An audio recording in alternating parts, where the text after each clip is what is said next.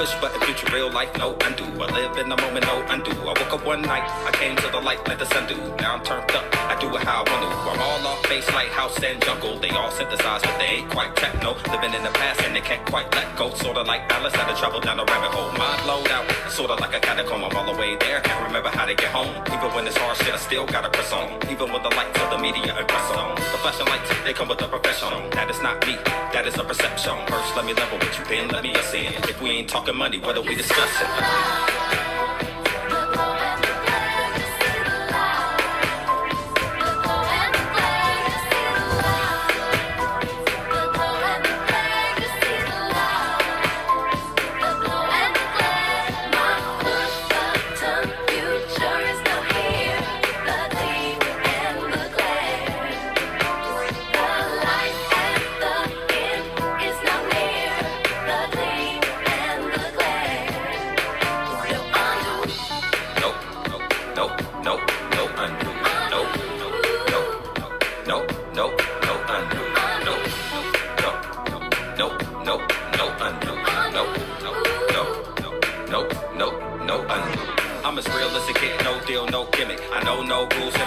The limit. I know no good, no bad intentions. Know some women, some hoes, some bitches. I know some niggas, some hoes, some bitches. Know we ain't close and they wonder why I'm so distant. Wonder why I'm come around, wonder why I never visit. I'm just on some different shit. We don't share the same interests.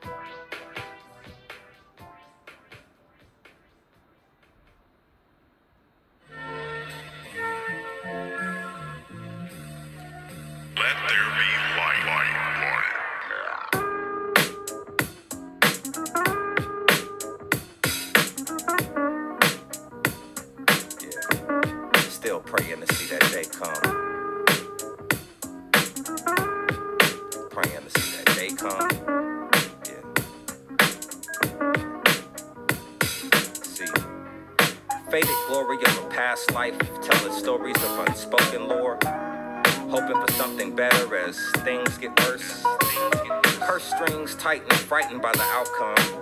Penny pinching if it's any to pinch. Times tense. Doesn't make sense if it takes dollars to make sense. The problem is that I'm underpaid a slave wage and overqualified for most low level positions. Trapped in the cycle forever trying to better my conditions. Wishing for fish ain't fishing. Rings don't burn in the kitchen. Trying to discern between good and bad spirits can be rather bewitching.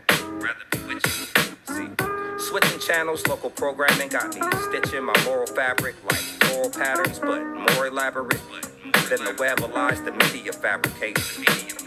Immediate gratification, trading love with status spikes like drugs on Insta hype types. Things for Insta likes and memes, having dreams of mainstream spotlights.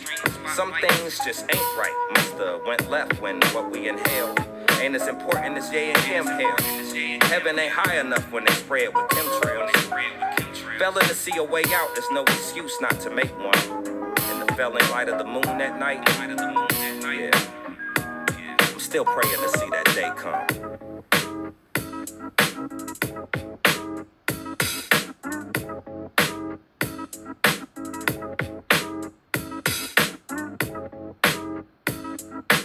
Behold, he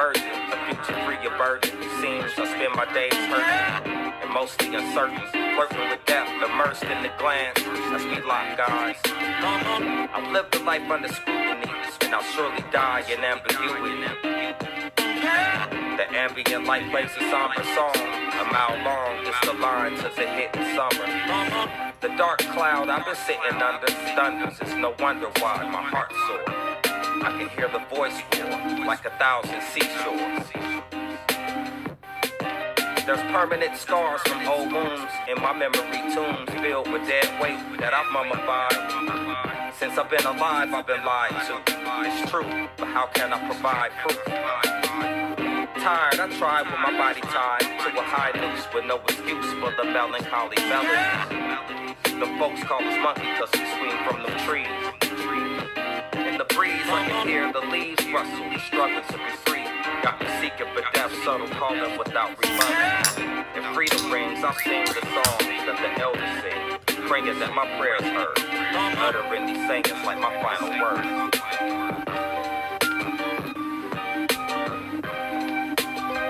Yo, yo, yo, yo, yo. What's happening? Side Street. It's the effing. It's another episode of Think New. And uh, appreciate everybody out there that's joining us today, this evening, tonight. I got a, uh special guest on tonight one of my favorite people in the world. Um, like uh, you know, like I always say, I don't like to give too much, uh, you know, backgrounds and all of that kind of stuff. I like for the person to be able to speak for themselves, and and you know, it's much more interesting when the person says it themselves. Um, plus, you know, I can't never really capture the, the everything. I can only give you my perspective on it. But um, tonight uh, we have a guest on. It's gonna be a. Uh, I'm not sure which name call her by. Uh, I call her mostly by the name of Dee Dee. You know what I mean? Um, she's definitely uh, family to me. Um, and so I call her Dee Dee, but her name is uh, Dee Dee Hibbler. And for those who don't know who she is, she's a uh, music industry professional. Um, I kind of learned mostly all the things I know business wise about music from her. Um, she as a brief background. Um, I think probably A and R director is the best title to describe her by. Um, she was the A and R director for LaFace Records. You know, um, during their heyday, you know, during the height. She also Um, work, you know, very closely with Organized Noize on the business side is for that. Um, I think she did A&R administration for them. She also was like president of Purple Ribbon. Um, she had her own company for more than a decade, like like more than two decades probably. Um, Murray Media Music Group, and now she's into all kinds of things, health and wellness and education. She was on the Grammy board for um, um, the southeastern region. Um, just just a lot of stuff. She her her rep it goes deep. So I don't even really you know want to do it any injustice by trying to describe it, but um, I'm gonna give her a call in a minute, try and get her online, see if we could pick her brain a little bit, find out you know how she got into the business and how she sees things now and, and different stuff like that. Just chop it up, and uh, you know hopefully we get some good information for everybody and something we can all you know grow on so without further ado let's see what we can do about that bear with me all this stuff is still new to me i'm getting used to it i gotta pull up pull up my apps and stuff like that but um and I don't know if y'all follow, you know, hip hop like I do and battle rap and stuff like that, man. But I, I like to um, you know, send my prayers out for um 40 Cal, man. If, if y'all know who 40 Cal is from Dipset, the battle rap community and everything, man. His daughter was uh, kidnapped, and I don't I don't know all the details, but you know, it, it's not sounding good. So I would definitely like to send my condolences. But, um, yeah. Let's try to get Dee Dee in here real quick. I also didn't mention that Dee Dee is also the infamous Peaches from the OutKast records. So, um, yeah, I think that's dope as well. You know what I mean? We're gonna find out more about that.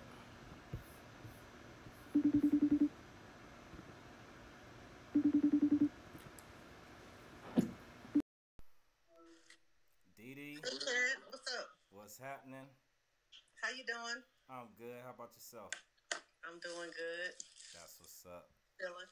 Well, welcome to the show. Think new Thank you, brother. with Miss Du- with Miss Dee Dee Hibbler. Thank you. That's what's up. I'm trying to get you in in the uh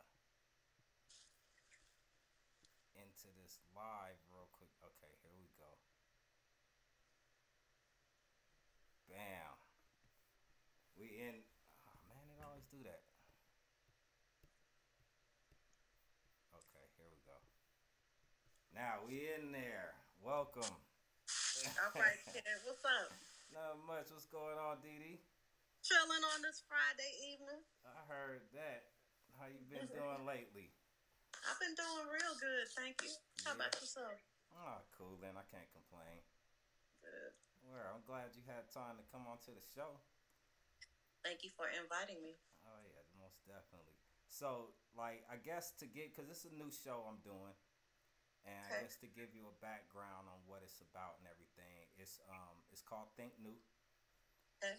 and basically it's just like um, it's a show geared at taking um, things that you know like entertainment and um, discussions and stuff that we have in our communities and things like that and try to bring new perspectives to it um, try to like um, give people insights that they may not know like um, break down some of the myths and and things like that. You know what i mean? So Okay.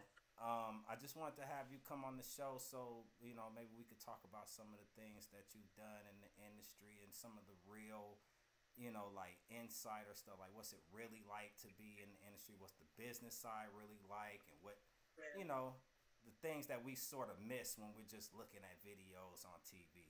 You know, what I mean? Like the work that goes into it and stuff like that. Okay. So, um, I guess um, if you could, I gave a little bit of background just now, like when I introed the show um, on who you are and things like that. But I, I try to leave it loose because I like for the guests to be able to speak for themselves because I could never say it like you could. Okay. Well, I consider myself an entertainment industry professional. Mm-hmm. Um, I've been doing in the, professionally working in the entertainment field since 1985. Word. Which- Although I'm 26, you know, yeah, math. yeah, that you know, new we start young. It's, it's that it's that think new math. It, it don't add up. but I started in radio, uh-huh. you know, early early in my career. uh-huh. Um, and I, in retail, I, I actually started in retail Uh-huh. selling records, and then um, I got into radio, the Uh-huh. radio game, which is something that I loved. Um, I went to college in Savannah at Savannah State, and I, I majored in radio and television broadcasting. I thought I wanted to be a news anchor. Uh, didn't quite go You know. that way for you. no, it didn't go that way for me, but you know, it was cool. I really wanted to be like the weather lady or some shit, you know. That's crazy. That's crazy. yeah, and I, I love meteorology, like I really do. Mhm. Um, but I, you know, I went to college and I had a, my own radio talk show. I was the news director of the radio station in, in Savannah for for years. really. And then I came home and worked at. mhm, That was my first job out of college. They actually offered me the job before I graduated as the news director of WEAS. E9, yeah, E93 Savannah. That's hot. Yeah. That's hot. So you said you started off selling records, Mm-hmm. like in a I record worked store. at Tur- I worked at Turtles Records and Tapes. That's some old school shit that a lot of people. wow, that's that's classic history. If you're right really there. from Atlanta and yeah, you you know you know about Atlanta, then you know about Turtles Records and Tapes. That was my job in high school. That was my dream job. Was to work at Turtles. That's crazy. So that was in Atlanta, That was in Decatur, Candler Road, Decatur, right across the street from South DeKalb Mall, Yep, yep. East Side. Wow, that's crazy. Yeah, Decatur were greater, and we would sell. I remember the most impactful record that I remember discovering Mhm. was Keith Sweat's "Make It Last Forever." Yeah, remember when that record came out; it was a masterpiece. We hadn't heard anything like that in eight in ever. ever. facts. facts. Because it, Other than Prince records, you it know, was like he was right after what Bobby Brown, right? No, before Bobby Brown, Keith Sweat "Make It Last Forever" came out when I was in high school because I remember working at Turtles when that record came out, and Bobby Brown came out by himself when I in the '90s when I was working at Capitol. Yeah, you're right. Yeah, Dang, Keith Sweat was before Bobby Brown. I Keith remember Sweat that. "Make record. It Last Forever." You might want to Google the fact, but yeah, I think that record came out maybe like in 1982, 83 or something like that. Yeah, I, I remember that record. It was because that that grew that boom, boom, boom. And he had that sweater on. Mm, Yeah.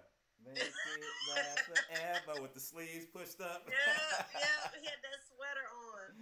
But that was the most that was the most incredible album to me. It just it just really touched me. Outside of you know like Purple Rain, you know we grew up with Prince, Mhm. you know. Mhm. But that when that Keith Sweat that he was he started that that '90s R&B kind of thing. Yeah. You know, even though he came out in the '80s, he he kicked off that male R&B thing that Bobby Brown and all of them, you know, like Guy and all of them just kind of slid into. right. Right. You know, so my love was music. Like I love music. I love music. Music has always been a part of my family. Um, my great uncle is a man named Al Hibbler. Mhm. Um, you can Google him. He um, sang "Unchained Melody," which was like a number one hit back in the fifties. Yeah, I Yeah, I, hit seen record. that. I seen that record before. I know I've heard it. Mm-hmm. Yeah. Al Hibbler. Yep, that's my great uncle. I look just like him. Wow, you can see the resemblance That's crazy. And our family on his album covers. Yep. I'm gonna have but I've always that loved music. My uncle was uh, into music. Um, when I was in high school, I managed his his band, they, his uh, dance group. They used to kill talent shows. You know, he had a group called a New Breed, and um, I was in their little video. So it, it music has always been in my family. So how Um, did you go from the record store into the radio station? it, from the record store into the radio station, it was a natural progression because um, when I was in college, my job uh, at Turtles transferred me up to Savannah. It was a Turtles up the street from the from the college, so I work at Turtles in, over there. But I also got a job working at the radio station that at my college. You know, I started getting into radio. I knew I wanted to be in radio. I love radio. And um, so I just started working at the radio station. I had a little a little afternoon uh, talk, uh, jazz set called Lunchtime Jazz from 12 to 2. For real. And DJ, yep. And I had my little jazz set at, at, at WHCJ. So I just naturally gradu- gravitated toward radio in college. That's And um, when I was in college, uh, I I went to the co- to the commercial station that gave me my job, and me and a group of my friends started a a, a, um, a show called the Savannah State Spotlight at E ninety three, and it came on Saturdays from like from like ten to twelve or something. I can't remember. And every Saturday, no matter how drunk we got, we used to have to be at that radio station at nine thirty in the morning so that we could start our our little show at ten. What? Did you have a radio name? just Dee. Yeah, Just just Dee. Dee. Not you know, not nothing nothing major. Okay. Yeah, just Dee Dee. Yeah. That's what's up. Mm-hmm. But I love radio and I love music and I love records. So I went from selling records to playing records on the radio. And then while I was at E93, you know, I would see the record company people come, like the, the music promoters were promoting the artists and promoting the records. And I was like, who are these niggas coming, taking people to lunch and they got the artists with them and stuff. And I was like, I want to do that. Yeah. Okay. like who are these cats so that intrigued me i got to know a couple of the radio guys um this Mhm. guy named charles gear who was one of my uh, radio mentors and another guy named teddy aston um, who's another one of my radio mentors um, and this old this man rest his soul luther terry they used to come through they used to work at like polydor and warner and those re- and atlantic and those radio and those record companies and bring their artists and being that I worked at the radio station, I used to be at all of the concerts. Mhm. So they would take us out to lunch or whatever, give us tickets, and I was like, yeah, I like these cats. So lo and behold, um, after I graduated from college, I worked at E93 for a couple of years, and then I moved to Atlanta, and I said I wanted to work at V103, Mhm. and everything I've always kind of set my sights for, it just kind of manifested. Mhm. Um, I kind of have a dream it and do it mentality. Mhm. um, and and that's how things for me have always manifested throughout my whole my whole career. I kind of dream it, see it in my head, vision it, and somehow wind up doing it. Just you know, my actions start moving towards it. So when I moved home, you know, I said I want to work at V one hundred three. I was calling up there; they didn't have no job for me. You know, I, I met the program director. His name was um, Mr. Ray Boyd. He he was like, you know, you you, you can come up here but, and volunteer, but you know I can't pay you. And I was like, fine. My parents had a had a restaurant at Underground Atlanta, so Mhm. you know I used to work at the radio station at, at Underground in between working at the radio station, um, and I used to catch the bus back and forth and the train to get from from uh, Ralph McGill and uh, Courtland, where the radio station was at the time, the Underground, a couple of blocks up. Mhm. So I did that for a minute, and then finally I got that job at V103. I became the, the, the assistant to the program director. Assistant And that was- Yep, assistant to the program director at V103. And I was the free money lady. I was the lady that gave out your $103 and made you sign that paper for you. Yeah. That's crazy. and you know, I never knew that. I never knew you worked at V103. hmm I worked at V103 from 1980, woo, 8, 87, 88 Mhm. to like maybe 80, I don't know, 89, 90 or something. I don't, I can't remember. It was the 80s. Or about was, two, it three years. huh? Said about two, three years. Yeah, for a minute, for a minute, because I graduated from college in '87, Mm-hmm. came home 88, 89, probably 89, 90. I don't, I can't remember. It's all a blur. Those days are a blur, but I did a lot. You know, I, I was ten years in the game before I met Rico Patton Ray. Right. I Right. was I was I was very much planted in in the industry. They I was introduced to them because they needed help. Yeah. You know, Ian Ian actually introduced me to them. I was like, I got these cats. They need some help. Ian Burke, because he worked at LaFace at the time, right? Nah, Ian never worked at LaFace. He never Ian worked. never worked at LaFace. He, Ian used to work at Ichiban Records. Ichiban. Yeah, yeah, Ian yeah. used to work at Ichiban. Like, yeah, he never worked at LaFace, but he did work with some LaFace artists. Like, he worked with TLC Mm-hmm. and some, you know, some of them. You Yeah. know, I definitely would. He had his feet, his feet firmly planted in the industry, in terms of discovering and creating talent. So, Okay, so he brought you on to work with Organized Noize. Mm-hmm. I knew him from because when I well, see, we kind of skipping some things, but uh, let's go back because I worked at V one hundred three, Mm-hmm. And I kept seeing the music, them record people going back and forth. Like I met Milli Vanilli, I met all kind of folks. What? Yeah, yeah, and um, and then my boss at V one hundred three, his best friend was this man named uh, Keith Fry that worked at Capitol Records. Mm-hmm. And my boss at V103 got a job up in New York and he couldn't take me with him. So he was like, yo, um, I, I can't take you to, to New York with me, but I, I want you to go see this man and he's going to he's gonna give you a job. And I was like, okay. He was like, call him. And I called him and he was like, yeah, um, I want you to come to my office tomorrow and don't wear no jeans. And I was like, okay, shit. Right, right. What's up? He was like, "Don't wear no jeans. We dress up around here." I'm like, "Okay." I really didn't know what I was getting into, other than I knew that Keith was his buddy, and he used to work at Capitol, and he was he had like the big artists with him. Mm-hmm. So I went there, and he gave me a job as his assistant. Mm-hmm. And he was like, "Yeah, Ray told me a lot about you. My assistant is taking another job, and I, you know, I, I need an assistant. Can Mm-hmm. you start tomorrow?" And I was like, "Yeah." Yeah. Okay. So I started working at Capitol Records. It happened just like that. You know, I had my site set for, for them record people. You know, I wanted to.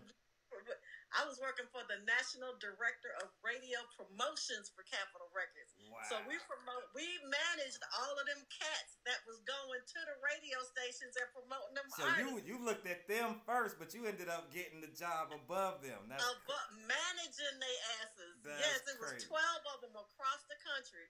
And I had to manage their day to day activity and report to my boss, who was there, who was the the the vice. Well, he eventually came vice president, but he was the national director. Mm. So, you know, we managed like MC Hammer, the Gap Band. We promoted these records full force. That's how me and Bow Legged Lou became best friends. What? Bow Legged Lou is one of my closest friends to this day Mm. um, uh, and I met him through Capitol Records. Uh, the, all kind of people. I mean, Bobby Brown, because my boss Keith Fry, he worked at Capitol. His wife Martha Fry worked at MCA, and MCA had Guy, Yeah. Bobby Brown, all of them. You know, so we uh, uh, er, um, um, New Edition. So Mhm. we, you know, but between the two of them being husband and wife, we saw all them shows. We was at all them bad boys. Wow. we did MC Hammer, so I promoted at least three of MC Hammer's records for him. Like the first ones, please hammer Let's- don't hurt them and all that. Please that. Hammer don't hurt him. Let's get it started. And even the infamous pumps in the bump. The pumps and the bumps. which which is crazy because that kind of became his most famous song. yeah, but that's the one that took him under too. Yep. it was like get this fool. It did. Off these rocks with these da da da on. Uh, man, I don't even know if they was that. They there was some speedos. We was like, what the hell? Pumps and the bumps. And then I found out Tupac was involved. I'm like, yo, how did this happen? oh my gosh, that's funny. So after that, after that came out, that pumps and the bumps. That was probably the end of Capitol Records. You know, they mm. closed out. They closed out department. They closed the black music division Just shut it down. Of Capitol Records. They was like, "Clink, it's over for y'all." And that had to be in 92. And that was around the time that I met Organized Noize. Because I used to go to the dungeon. Like, I remember first Ian brought uh, Pat to my office at Capitol. And I had a beautiful office. Like, we had plants and shit all over the place, all glass and everything. And LaFace's office was right above ours. So we watched LaFace move in. We was out in Norcross. We watched the trucks move in when LaFace opened up in Atlanta. So their first office was in, was in Norcross. J Bird Alley. Yes, it was in Norcross. Their very first office. We we watched it happen. That's crazy. And they probably Yeah. just moved in like small teams, small. hmm It was it was Charlotte's. It was Brian Reed. It was his brother. It was L.A.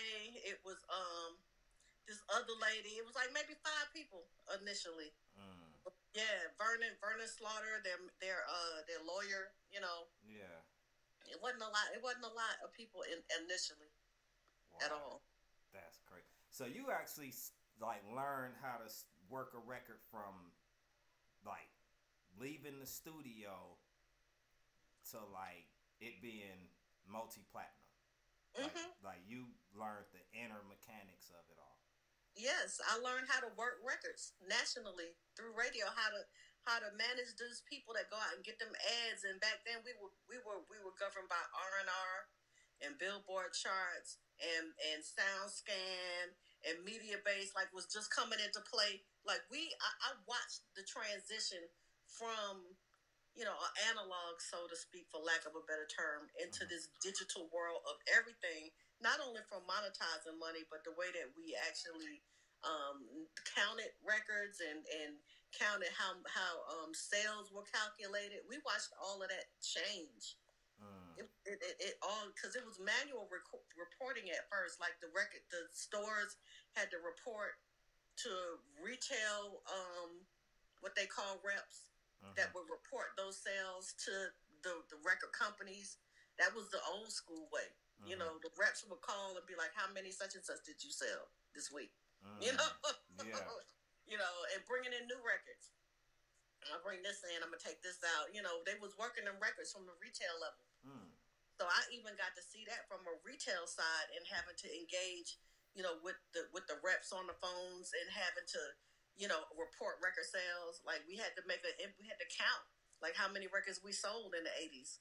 Mm, like manually call. Because I Mhm. remember I used to do stuff when I was a kid. I used to do stuff for Organized Noize, call the call the record stores and Mm-hmm. uh, place records and stuff. But honestly, I didn't know. I just knew that part of it. I didn't know Yeah. what else was going on. You know? Yeah, I we, y'all were field market representatives. Y'all went out and put up displays. Yep. You know, we had we used to have we used to have receptions at the stores. mm, you know, where we would we would have the artists do performances in the stores for the customers, you know, and have whole have V one hundred three come out to the record store to Tower Records. We were investing in billboards yeah. I remember. outside of towers, like that was part of our marketing budgets back then. Yeah, they would call like in stores or something, right? The Mm, In store, in stores, yeah, Yeah, meet yeah. and greets, Meet meet, and and greets, and yeah. that's that was that was most of the artist time back then like like beyond perform like doing tours and stuff they was in those record stores They was in them record stores. yeah We especially in them college towns, you know, because it was all about the mom and pop record stores back then too. Not Mhm. necessarily the chains. You had a lot of, of sales from those mom and pops, like those Third World records. Remember Third World? you talking about the reggae super- group or the No, no, no. The record store was a record store called Third World Super Sound. i remember super sounds Yeah, definitely, you know, yeah. all of those, all of those records. Those were very impactful in how we marketed and sold our records Mm, before we went digital. really It's a whole nother world. because you had to cater to the customers that were coming to their stores and you had to draw the customer to the retail outlet in order to sell your records. There was a time when we used to fight fight for what they call rack space in the in the in the chains, like in the Walmart, in the Target, and in the Kmart, and in Best Buy. You know, you want your you want you want prime rack rack space for your CDs and your and actually even albums. You know, albums yep that And was if I- when they had the pop the um what were they called the uh they were like cutouts that you put on the counters and stuff like that. Mhm. Cutouts, counter, counter pop ups, all kind of stuff. Yeah. You know, and if I think about my transition over my the span of my career, I watched us go from. I mean, I've been in I've been in the world of eight track as a kid. Uh, My daddy had eight tracks, you know, forty fives and albums, Mhm. eight track to cassette. Mhm. You know, um, from cassette to to CD. Yeah. You know, It from that CD to doggone mini CD and and, and, And mini disc, disc and, mini disc and the and little DAT. tapes, little ADAT tapes little, little. ADATs, you know, um, Mhm. all up until the, the MP3, and now we are streaming, you know, and even from the how we make records, you know, Yeah. We were making records on two inch tape, mixing down to half inch tape, Yep. you know, then we went from to DAT, from to ADAT, you know, ADATs. Yep. then we started doing stuff digitally. And you ain't now need no tape no more. All you need now is a computer, a laptop, hmm and- And, some internet. and some internet, and you in there. Yeah, you Yeah. can make a whole record and mix Mhm. that bitch and have it on out in the internet for sale. Yep. Just You know? like that. Just like that. So, do you think that that um, hurt the industry or helped it? For me, you know, coming from the business side, Mhm. you know, going from you know selling albums to to streaming singles, it, I mean, in streaming services, it hurt. Yeah. It hurt because from you know, I'm not going to get too technical, but from like a a controlled composition standpoint and a mechanical licensing standpoint and statutory rate standpoint, you know, we're getting cheated, you know, because we were getting paid, you know, on whole albums, you know, in our deals. Like you, you get an album deal rate and then you get a, a single rate that mm-hmm. you were getting paid off of. And, you know, everybody had to, you, you had to split a percentage of, you know, your sales with your producers and, you know, whoever your featured artists were, you know, you had, you had your artists, you know, your points and your percentages and all of those things, your advances, and you counted on those record sales. You counted on them album selling Mhm. because we knew we was getting nine ninety nine off them albums, you know. Right. Right. You know, and when the album ceased to exist in the digital realm, Mhm. that killed us as publishers and composition holder rights holders because now we're getting paid on a tenth of what we were getting paid for, you know, twenty years ago. Right. You know, right. you be waiting on them daggone checks to come. Checks, them checks I used to have for Rico Pat and Ray was like three hundred thousand dollars every three months. You know, half a million dollars. You know, and then they started dwindling down to like three hundred thousand or a hundred thousand. And I'm like, damn, my little percentage is getting fucked up. Yeah, I yeah. Ain't gonna buy nothing. Hey, that's Fifty thousand. I'm like, shit. That's crazy. What's funny though is that you can hear a number like three hundred thousand and it be like small in comparison. You know what I mean? Like that lets you know how big the industry was at the time. Man, we was getting paid like them checks was beautiful. Mm. I'm telling you, and they came. Like all I had to do was just wait. I was looking. Up I had the calendar set. Like yes, all I got to make it is till till April. April, April, end of April, May, beginning of May. It's about to be beautiful around this bitch. You know. yeah, yeah. So you just had to wait. And certain checks came every six months. Certain checks came every three months. And, and certain checks came every forty-five days. You know. Mhm. So you know, you just had to had to just gauge it. I mean, and I remember times I used to have checks just put up for Rico Pat and Ray. Mm. They they would think they was broke, and I'd be like, oh no, I got about thirty thousand dollars. You you know, go. Here you go. Take this Ray. Here you go. Wow. Call Rico. Rico, we- got some money. I'm like, yeah, I think I got about fifty thousand dollars up under here. You got fifty thousand dollars? Like, mm-hmm. You you need me to? Girl, I love you. He'll tell you. He will tell you. His whole little voice will change. Like, Wow. That's crazy. That's crazy. I used to put money up because I knew they asses. You know, Yeah, I knew them. yeah. And just how I was moving. Everything was moving That's how fast. was moving. Yeah. Fast paced. hmm I used to sleep on their money. Do you think that? Do you think that songs, like the individual song now is um like being uh sh- like only charging a dollar for each individual song is you think that's undercutting it? It is, I mean, it's just the nature of the beast now. It's the way that we do business. You can't sell an individual single for any more than that. Mhm. You just can't. So I mean, you just the it just don't add up. Right, right, right, right. Um, so where we are is where we are. I mean, we have to be smart about how we make records now. You know, you can't be having a whole bunch of features and samples and stuff on your records. You got to really have, you know, original music because you mm-hmm. can't afford to give any of your record away because we don't have them to give away anymore. Right. Even though But people still you can- expect it to be free. Yeah, but but you can get rich off of a single, and it you don't even have to sell it now. It can just be airplay. Yeah, streaming. You don't have to sell it. You can give it away for free and still be very, very, very But well off off off of if your if your record gets makes it to the radio, Mm-hmm. makes it into into heavy rotation. That bitch ain't gotta sell. do you um I've been hearing talks about them trying to renegotiate rates for streaming. Have you have you ha- have you um do you know anything about that? No, I you know I kind of have been a little remo- removed from the music world mm-hmm. over the past five years or so. Mm-hmm. You know because I I've, I've gravitated over into the film space. Mm-hmm. So you know as much as I try to keep up with what's happening, I haven't really been um, up on trends as I should be as a music professional.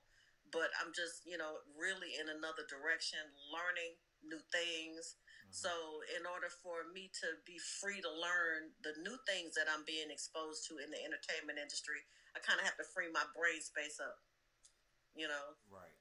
to really, you know, grasp and encompassing how to make film, how to how to manage film budgets. You know, mm-hmm. it's like managing a film budget is like managing three recording budgets, maybe five recording budgets at one time. Because they break it down into individual things that need to be I was watching some documentaries on that. It was making like I think it was Star Wars and I was seeing how they was breaking that budget down into like graphics and then it was like production and mm-hmm. it was like three it was It's- like yeah. all kind of departments. You got music, you got you got hair, makeup, you got wardrobe, you've got costumes, you've got props, you've got set deck, you've got locations, and I'm just strictly in locations. And in locations, I manage right now on the film that I'm working on right now. In my location budget, I have eight micro budgets. wow. of individual locations for this movie that I'm shooting through um, August. And I have to manage simultaneously all eight of these budgets. One might be 300,000, one might be 700,000, one might be 50,000, one might be 80,000, you know, but it's all working. Like at least two of these budgets are, are active at one time. Oh, maybe three or four. Wow, that's wow. Oh, and it's beautiful. Okay, so I don't want to get ahead of myself. Because now we on to a whole nother thing. Right. All right, so, and that's what I was explaining. I was, I was like, man, tell you the truth. I was like, Dee Dee did so much stuff. I was like, I couldn't sit here and begin to start to tell you, like, I know what's going on. so, um, because I just, you know, I just remember, I, you know, I'd be around. I, You were part of this. You lived thing- this with me. Yeah, You like I lived- was we there, lived so- this together. Yeah, but I wasn't like I guess, you know, I wasn't like in the business like that. So I just I remember stuff like even when you was wasn't around, a common phrase I remember hearing, call Dee. That was you know what I mean? That's like a common phrase. Like like what call Dee. You know what I mean? Like just not even just Organized Noize, just a lot of people would be like, Man, we need to call Dee. You know what I mean? and um and I just always remembered that like man Dee know how to do everything like if you, if you need you know what I mean anything business Dee Dee was on it Aw. that's crazy but yeah I, I remember that. So um, I kind of gave like a background on like the. Well, like I said, I want you to kind of say it. So where we was at was, you was at Capitol.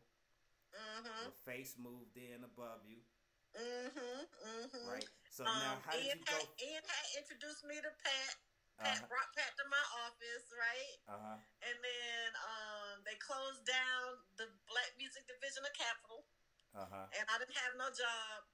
And so I just started going to the dungeon. Like I just started going to the dungeon, and I used to take my computer over to the dungeon like it was my job every day because I didn't have nothing else to do. Like. I just had nothing else to do. Like so I, I would just go over there. I had this laptop, this big ass laptop, and this big ass little oh my I, and you know I always kind of my mama oh we had it going on so I had my little portable printer my Uh-huh. little laptop from the 80s like people didn't have this type of stuff Right, like, because I, I know I'm like at the time we didn't nobody have a laptop. right I was over there printing stuff you know like Yeah. lyrics and stuff and we had that paper where you had to pull the little dots the little sides off the They used to fold up like a uh, yeah, yeah. I, yeah. had, I used to come to the dungeon and pull my shit out and set it up like what we doing like Yeah, let's go. let's go. What we doing? Like what we got to do? Like for real. And there were times when you know we had to go to interviews. You know, we were setting up interviews. My friend Rhonda Baraka had that had that uh, magazine called Tafresia. Her husband Tony, rest in peace. You know, they were one of the first people to ever do an article on OutKast and organized noise. And whenever that something happened, they they all we were always on the cover. We always had the cover of Tafresia. Tony and Rhonda always showed us love. wow. So you know, we did that. We had my brother's keeper. You know, we Yeah. had That was the club. It was jumping for a minute. I remember that. Mm-hmm. MBK. Yeah. Yeah, yeah, club. Yeah. MBK. Yeah. We had Belinda and Victor. They owned a little uh, rehearsal facility that we used to be able to rehearse out out of. You know, we did the the um, showcase for uh, L.A. Reid at Uh-huh. Victor and Belinda's, and he turned us down the first time. Like I remember, like all of that. Like we all piled up in like two, three cars, and nobody had no car. Like I had a car. I think Rico had a raggedy ass car. You know. Uh, you know, we just all we did what we had to do. yeah, You know, yeah. scraping up money for pizzas, sleeping on the floor. I slept on the floor with them. Like I slept on the floor too. Wow. Like we we did what we had to do. Yeah. Real. Yeah. I remember. I remember sleeping on the floors. that mm-hmm. wasn't no joke. Yeah, like move over. yeah, yeah, it was real. Yeah, because you mm-hmm. didn't lay down. too- I'm not driving back to Alpharetta. Remember, I Yeah. lived in Alpharetta. Yep, yep, yep. You had, yeah. You lived in Alpharetta. You and Malia. Yep. Yep. I was like, y'all move over. Me and Malia, we spending the night yeah. on the floor. I'm trying to think. Let me see how good my memory is. I remember you having a. Was it a little mint car, a little little green car, I used to have a little green Hyundai. Hyundai. little green Hyundai? Yep. Yeah, and then Goodie Mob and them wrecked that car. They tried to lie. When we was when we had that office over there on Ralph McGill, Yep. Yep. them niggas tore my dang car up. Never paid for it, but it's okay. I gave them my car to go somewhere. Came back, and the whole side of the car was just messed up. Oh man, that's crazy. that's crazy. Yeah. And I remember I wound it up was a, selling that car to Rube. Rube needed a, his girlfriend needed a car. I wound up selling that car to Rube. for real. That's crazy. Mhm. That's crazy. I remember you had a, a. It was it like a jeep or something. It was a little jeep or something. Well, who? Ray had a Jeep. Ray, Ray had a Ray Jeep had a. Ray had a trooper. No, Ray had a Jeep too for a minute. He had a black Jeep for a minute. You don't remember that Jeep? Yeah, with the big tires. Yes. Oh yeah, I remember that Jeep. We used to go Mhm. mudding in it. mm-hmm, mm-hmm. Then he Yeah. got rid of the Jeep and we got the Trooper. Yeah. yeah, yeah, I remember that. I thought before that, what did you have? I thought you got something else bef- after that. I got had like a Durango at one point. The Durango. I had that Volvo. The Remember that Volvo? Volvo. That Volvo SUV when the SUVs first came out. Yeah. I had like one of the first ones of them, them Volvo XC, whatever they was. Yeah. Yep, I had that. But um, I'm trying to think of what else I used to drive. I can't remember. It's a blur. I know it. I just be trying to put the eras together, but I remember the mint car. That's what that's what it was. That's what it was real. Yeah, hmm everything was just just like really getting big at that time. hmm Okay, so all right, so then when you met them, you started going to the dungeon. That was before they had ever put a record out, right? Uh, they had put out that CB4 record. That CB4 Lifeline. They was working on PA. Lifeline. and um, some kind of way, yeah, Lifeline had came out on CB4 soundtrack, but the PA album was not done. Mm. Um, so they they were working on that. Had just met Outkast. Mm. You know, they were still Black Dog and Black Wolf. They, you know, they had just started coming around. Black Dog and Black. Black Wolf. Dog and Black Wolf started coming around. Um, and I heard those stories with the blonde hair.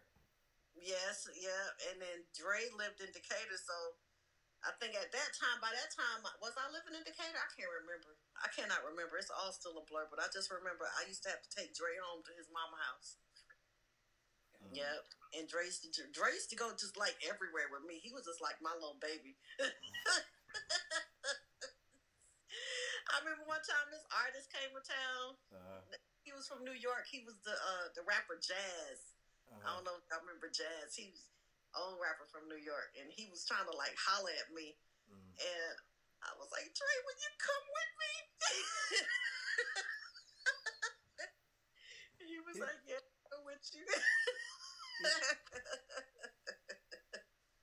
That's funny. It was like what was it? It was like a date, or yeah, he like wanted me to take him home or something. Like he, we had been at my brother's keeper or something. a, And he uh-huh. was trying to holler, and he was, and I don't know, I don't know.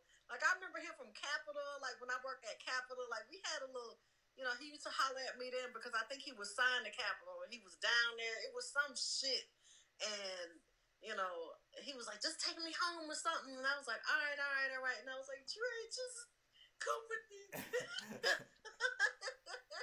I don't want that. Uh-uh, just come with me. Just come with me. Like you just gonna have to come with me. That's real.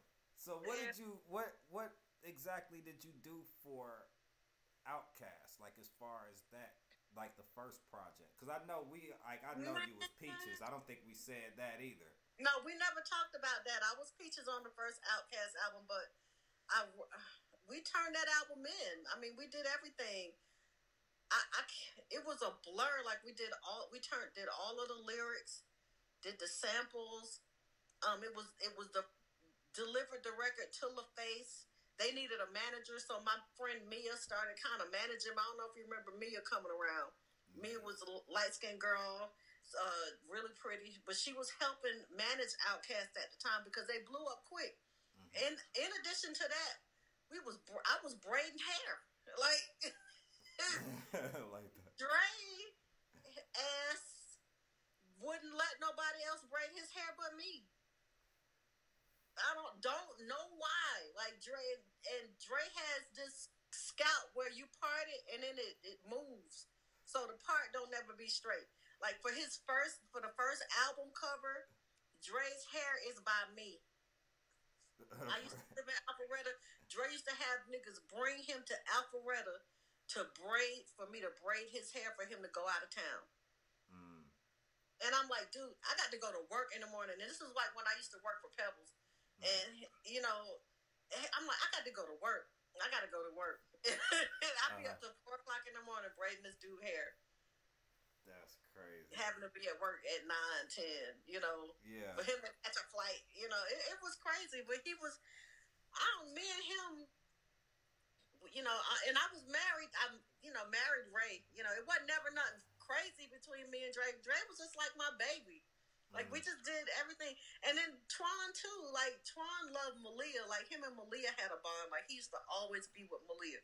When we would go and do stuff, or we had to go out of town, or Malia would have to be at the studio, I could always leave Malia with Big Boi. Mm-hmm. Uh oh, my phone is. is oh man. My baby calling. Oh, you got a phone call. Yeah. Um. You know, he. I could always leave Malia Mm-hmm. with Big Boi with toys, food, a bottle. She would be very well taken care of.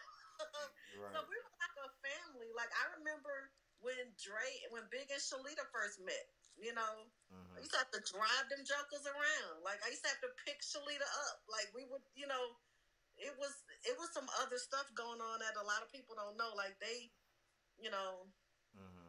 I watched them go from teenagers to men to fathers to millionaires to bitch very shrewd and, and astute businessmen. I, I was there for that their, their whole lives. Mm-hmm. That's dope. You know, Rico, Pat, and Ray too. yeah. Ray, you know, Ray was probably in his early twenties, but Rico and, and, and Pat, they was like 17, 18. Mm, But Big and Dre were like 16, 17.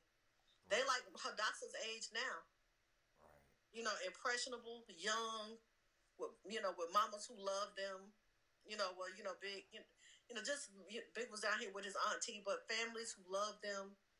You know, just it, it, was, and we had to be responsible for them. Mm-hmm. You know, especially especially Drake, because his mama didn't play.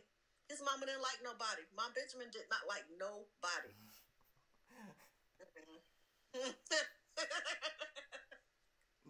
For real. Mm-mm. Wow. She didn't get it at the time. She was. No, and it took her a minute to get it, but when she got it, she got it good. Yeah. She was very well taken care of. Rest her soul. Yeah. Rest in peace. hmm That's, But we, you know, like a lot of these, you, we being on the inside looking out, mm-hmm. it's hard to see the results of your labor. Mm-hmm. It's really hard because all we wanted was to just win, you know, to do good. And they did good. I was telling somebody about how waterfalls changed our lives. Like, you know, that was a turning point. That was the shit that changed everything. Right. That waterfalls record. Right. Right. Know? Right. That was like the signature song at the time for everything. Mm-hmm. Yeah. Phone started ringing. Mm-hmm. You know, prices went up. Mm-hmm. You know, Mm-hmm. you set standards. Send a list to the studio. This is what I want. I want fruit and tea and shit. I need a bottle of liquor. Yeah. A hundred chicken wings for Rico. Right. At 10, 12, and 2. And, and was, you was there for Organized Noize Records too? yeah. Of course. Well, I know, but I'm trying to I'm trying to put it all together. Like I know, like I That's saw. when we was on River Road. That was them days. yeah. That's when I was. That was when I was going to the work with kids, with babies, with a doggone playpen in my office. Yeah. Hell yeah, I was there for Organized Noize Records. Yeah. Every minute of it, I opened it up and shut that bitch down. Put the shit in storage when it was Right. over. Because I was that's the when the first office one was in and the on. last one out. That's when the office was on Ralph McGill. Ralph McGill, Auburn Avenue as well. Yeah, in Auburn Avenue. The um Mm-hmm. upstairs one, cause that was like over there, cause who uh that rim shop, the Erick Sermon rim shop was like on the corner across from it or something. That was over there when we was on Ralph McGill. You could Oh. walk to the rim shop. Yep, to the rim shop. Yeah, it was Mm-hmm. popping. Yeah, that's what we used to call the record stores. hmm yeah. That's when y'all would be calling them record stores. Getting in trouble because we were putting stickers everywhere. Can't be putting no stickers on no damn street signs and stuff. we were putting them everywhere. Because Yep. the Olympics was here at the time, and they were trying to make Atlanta beautiful. Yep. So we was getting in trouble for shit like that. Yep, yep, yep. Rico was. I remember getting cussed out because we had we had stickered up some club. I was like, but what, what else are we supposed to do with it? Right. you know. What I mean? They traced them stickers right back to us, and we get a Yep. check. Yep, yep. They Mhm. went right back. But Yep. um, but yeah, them was the days. There was the day. Mhm. So so I was. I remember me being on Cool Breeze record. Ten points, East Point's greatest hits. Ten oh, points. Yeah, Go back and listen to that record. Yep, yep, yep. Ten points. And my Out of every Organized Noize album ever made was Lil Will. Mm, In I'll- Better Days. I know it. Better Days was that. That That was that one. Like, to this day, that's my favorite album. yeah. Better Days. Them songs. I was thinking about the song April Rain today. hmm I'm like, these, these May rains in here like April rain, you know? Yeah. Yeah. Yeah. Mhm. That was that was some of that was yeah that was some of the best music. That's some of the best music and some of the hardest times, you know, is on the same token. You know, professionally and personally. You know, it was it was hard. It was hard, but we made it through. Yeah, because I mean, it. what was it like to have that kind of? Because I'm like seeing now how you was doing one thing with Capitol, and then to to start off with Organized Noize and have it explode like that, like with that kind of workload. What was it like to transition into that? Like, was it really overnight, or was it like? It wasn't overnight. Mhm. It wasn't overnight. Um, and that was remember when I used to work for Pebbles. Uh uh You don't remember when I worked with Pebbles? No, Okay, see, so- I didn't know that either. So before before Organized Noize could pay me, they helped me get a job working with Pebbles Mhm. at her company, Savvy Records. Even they didn't even really help me get that job. Cause me and Ray had to kind of hide the fact that we was dating because Pebble was like, "You can't be fraternizing with the producers," and I was like, "Girl, if you only knew how we was fraternizing." So that was real. That wasn't just in the TLC movie. No, that was for real. You don't be fraternizing with the producers. Like, okay, you don't know I was fraternizing with the producers before I got this job. oh shit, that's crazy. that's crazy. But um, my friend Josh used to be Pebbles' assistant. Uh-huh. Josh Hargrove. She she um goes right back to Keith Fry. She was married to Keith Fry's son, Xavier. She married him. Mm. But Xavier had moved to Florida, and, and Josh wanted to go work for Jermaine Dupri daddy so she can be in Florida to get her man. So she was like, Look, I'm going to go to Florida to go work with doggone Michael Mauldin. I'm going to need you to come take this job with Pebbles. I'm gonna mm. train you. I'm gonna teach you everything. But I, I, you know, she told me to pick my assistant, and I pick you. And I was like, damn. And I didn't have no job at the time, and I was working for Rico Ray and Pat for free because I didn't have no nothing to do at, you know, because I mm. had lost my job at Capitol. So she picked me to be her assistant. She was like, I had to find my replacement. I, only person that I know that is capable of doing this job, working with the Reids, is you. And I was like, shit. So I went from watching them move in to becoming part of their household. So mm. that in itself was something else. And working for Organized Noize under the table on the slide behind the behind the curtain.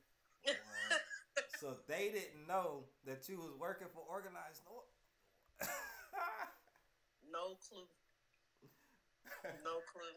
That's crazy. That's crazy. But you know what? Yeah, I would probably would have lost my job if she knew. If she knew it was tight. She knew everybody knew each other. Yeah. But she didn't know I was leaving her office going straight to the dungeon to go work on the Southern Playalistic record to turn into her husband. That's wow. That's crazy. Wow. it was going down like that like that. in the 90s. damn, damn. So, um, how, what do you think was like? What happened with with little the Lil Will album? Like, why? Like, because I It was a know lot.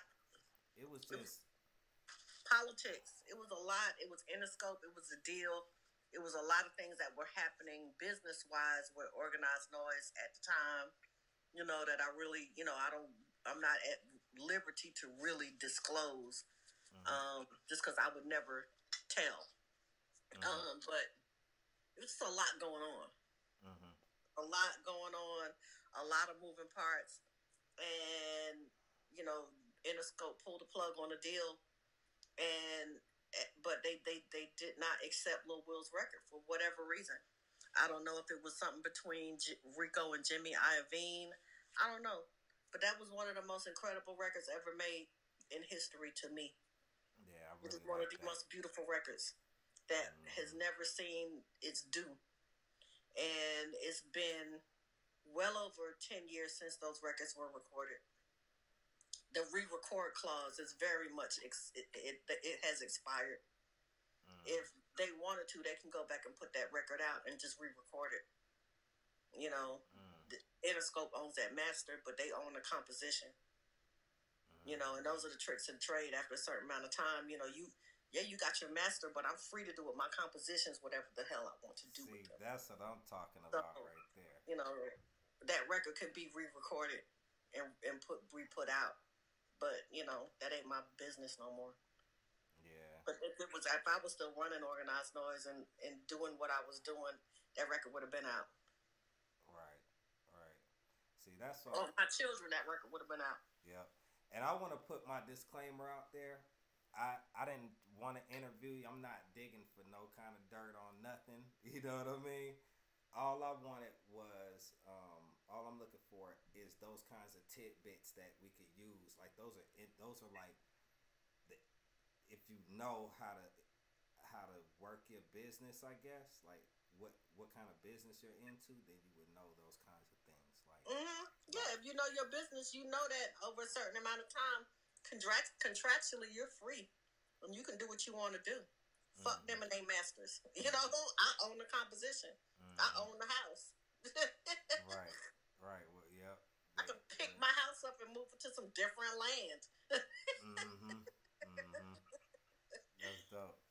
You yeah, know, that's dope. Cause I don't know. You know, I think a lot of times artists just get caught up in the works we've done, and it's like you get attached to them, and you know, you know what I mean, all that kind of stuff. I used, yeah. mhm. I used to call it demo love. I used to be like, y'all don't get into, don't fall into no demo love. Like we used to hear them demos of them records, and Big Boi used to fall in demo love a lot. Uh, you know, uh-huh. you know, it would be a sample in it, and you know, it just it was just a raw track, yeah, and let somebody hear it, and then you know they come back and produce the record, and they take the sample out, and you know, play music, and they're like, I don't like that, you know, like that ain't what I heard. I'm like, your ass fell in demo love. yeah. That was the dead. That was the demo. Yeah, that's crazy. That used to happen all the time. Yeah, that's crazy. And so you you did a lot of the um actual like or like the paperwork and stuff like that for like records, Mhm. making sure things were cataloged and, and credited and Right. that kind of stuff. Right, I did um for all of for all of the OutKast records, at least the, the early ones like Southern Playalistic, Mm-hmm. Elevators, um, Soul Food. Uh, the I, I have nightmares still sometimes transcribing some of Khujo's lyrics.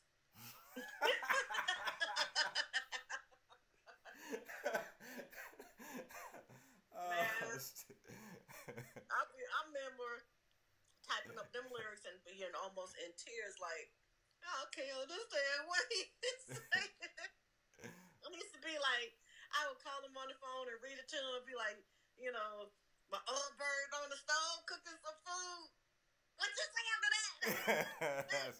My crud ball something like crud balling. Like what is that? right. What C R U D balling? I'm like, okay. I asked him one time something. What he said in a lyric. He looked at me. He said, "What you think I said?" I said, oh, shit." I was Like like, I do not know. what you real. I have no clue as to what you, you be making up your own words. Khujo got his own language. Yeah. Yeah. Can I get a something- him I'm trying to remember. I said, I was like, "What'd you say?" It sounded like Yeah. you said, "Feed my Impala." He said, "Feed my Impala." He said, "Shit, that shit hard as hell, folks." he said, "I can't." Man, I, I said, "Damn, I don't know what he, I don't know what he said." but yes, so I had to doggone type up all of them lyrics, do all you know, clear all the samples, make sure mm-hmm. everybody no samples in them, do everything to deliver the album to the label. So that meant making sure that we had clean producing contra- producer contracts, making sure that we had side artist contracts in place, making sure all of our work for hire forms were done, making sure all of the union forms were submitted, you know, making sure all the musicians have been paid, making sure all the studio sessions were in, administering the budget, making sure all the bills were paid. You know, that was the biggest thing coming in under budget. You had to do all of this in a budget. Like they might give you two hundred and fifty thousand dollars, and you have to have a budget for all of this stuff. Like so, I have a line item for tapes, a line item for studio, a line item for travel, a line item for side artists, a line item for producer fees. You know, you gotta samples. You know, back in them days, them recording budgets were they were something else. You know, I think the biggest one I had was for um, Even in Darkness. Mm, for real. That, that budget, that budget might have been one point five million dollars. What? That recording budget, yeah. But everybody had to be paid out of that one point five million dollars too. Yeah, but still, that's a big. That's that's huge. I think everybody but Outkast had to get paid off of that because we had to record the record too, and pay all them cats Mm. Mm. and the musicians and the studio time and the producers. And the producers. That was a lot. It's a lot. Yeah. Yeah. So, you know, the the thing that people they love music, but there it's really it's it's a it's, it is a music business for a reason. Mm-hmm. And if you don't have your business taken care of, you know, you won't make no money off the music. and it can be lucrative, be very lucrative. And today, like you, all you need is a single to hit, and you straight. Mm-hmm. You don't have the responsibility of recording an entire album anymore. You can build an album. You can build your album from singles. You don't have to do an album anymore. You're not limited to that, or relegated to that, I should say Mm-hmm. to that commitment. Even though the messed up part is these these record labels still try to issue out deals like that, and it's like these days are over. Like I'm not doing no seven album deal. You can kiss my ass. I'm not doing that. You know? Right. Right. no, Right. I'm not giving you a one album deal. I'll Well, give you now a, everybody's talking about I'll this. give you a three song deal. How about that? Yeah, everybody's talking about this 360 deal now. Mm-hmm. Like you That know, ain't no money in in records no more. right? You got to think about the history of the of the record business, of the music business. The record business was built on the foundation of manufacturing and selling long playing records, Mm-hmm. albums, LPs, LP album, long playing record. That's what that stood for. Mm-hmm. That's what this whole thing was built on. The federal statutory rate on on which compositions can be can be paid per per album, number of songs per album. There were federal federal regulations and rules set in place on the mechanical licensing rate, and that's just the mechanical licensing rate was built on back when they had those mechanical records back in the day. Remember when they had those wind up records? That's what that rate was based on. For real, that's what it mean when they say mechanical royalty. hmm Man, It's technically the, the, the number the, the number of time of the minute the number of minutes that song plays. You get paid based on the number of minutes. on the number of minutes that the song plays, hmm the mechanical royalty, and that's the the actual crank turn. hmm That's what that was based upon. So the history of the music business was based on the manufacturing and selling of records, of music, of albums. So businesses licensed music from composers, Mhm. songwriters. Mhm. You know, they controlled the number of compositions they would pay for Mhm. at at a, at a normal statutory rate, mechanical rate, or a reduced statutory rate. Mhm. That's what those contracts was built upon. Mhm. You know, if you know about controlled compositions, you know that you know a label will uh um, will send you a deal and, and ask that you reduce your mechanical rate from 100% to 75%. And you, as the composition owner, have the right in every in every record company to say no. I want to be paid at hundred percent, and all you got to do is say no. I want to be paid at hundred percent, mm-hmm. and that contract can be amended just that quickly because it's your right as a composition holder to be paid at seventy five at hundred percent. But record labels want to pay seventy five percent of the rate. so they put it in an agreement. That's just one of them things. And if you don't know, you just be signing that shit, and you don't know it's your right. It's your federal right to get paid 100% of the mechanical rate, of the federally mandated mechanical rate, the statutory rate that they're supposed to pay composition owners for licensing their music on their long playing records. Because they still pay by that rate right now through BMI and They ASCAP and certainly do. And you can say, I want all my money. All of it. Not a reduced rate. I don't want to be paid at a reduced rate. I want to be paid, to be paid at the full rate. Mm, And they have to do it. that's crazy. Because you crossed it out and put 100%. and now they have to do it. Yeah, and that's the fine print. That's the stuff. You know that if any, if that's the fine print for any artist. Don't get caught under the con- control composition clause. Look for that. You know, and don't don't mix don't mix your record deal with your publishing deal.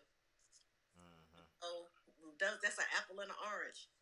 Don't even come to me with a recording deal that addresses anything to do with my publishing. If you ain't got some money to give me, hmm I will cuss you out. That's crazy. That's crazy. That's crazy. But at that time, how did you how did you learn that? Because there was no school that taught that No, to teach was no nothing like that. I had to learn it. I, you know, when I grew with Organized Noize, I grew with the business. So as we grew, you know, I, I learned from the lawyers. I had to learn, I had to read those contracts. I had to work with Jess Rosen, who was, you know, with Greenberg Traurig. They had the finest and the best entertainment lawyer in all of the world. You know, they had Jeff Smith and Jess Rosen and they all worked for Joel Katz. You know, we had they, we had the best, so they talked me through those contracts.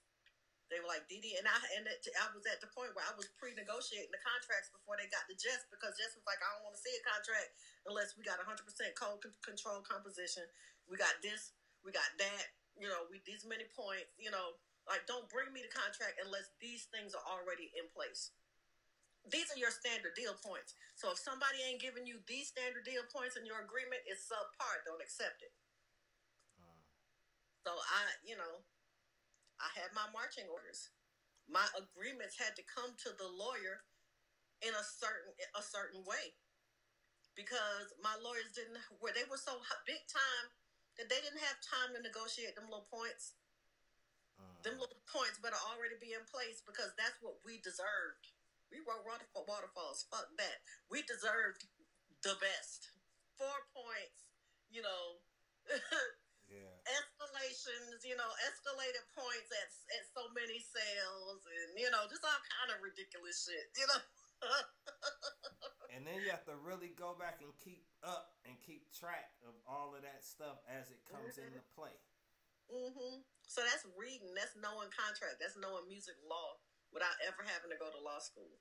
Right. And I wanted to go to law school so bad, but you know, I didn't have time. I kept having babies and, you know, running a company and being a wife as well as being, you know, running a business and, you know, trying to fulfill my own dreams. Like I used to always tell everybody, like I am not no household. I'm a, I'm finna be me. Like hmm I'm finna do me. Like I don't care. Like I'm not just Ray Murray wife. Like I'm Dee Dee Murray. Like I'm Mhm. Dee. Like Dee Dee had a name before she stepped up in this joint. Like Right. y'all recognize.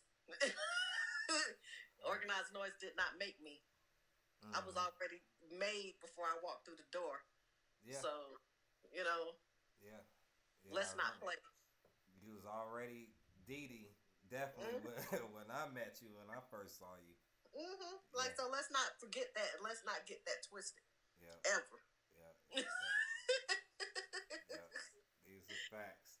That's Mhm. crazy, man. That's That's crazy. actual fact. So, I mean, but I, I love, you know, I, I I wouldn't trade my life for nothing in the world. I look back, and there was so many other things that I could have done. Mm-hmm. You know, when I left Capitol, I could have went to New York. You know, I could have went to California.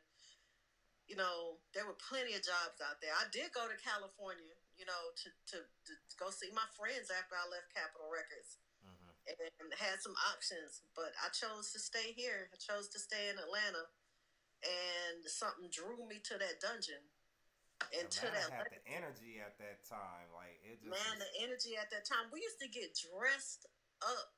Grown ass women in their 20s, like 24, 25, getting dressed up to go to the dungeon. like, who does that? Get go. dressed up. Are you going to the dungeon, girl? to go over there to have your new hair smell like weed. Like, come on. Come home smelling like weed and, and dirt. Pretty much.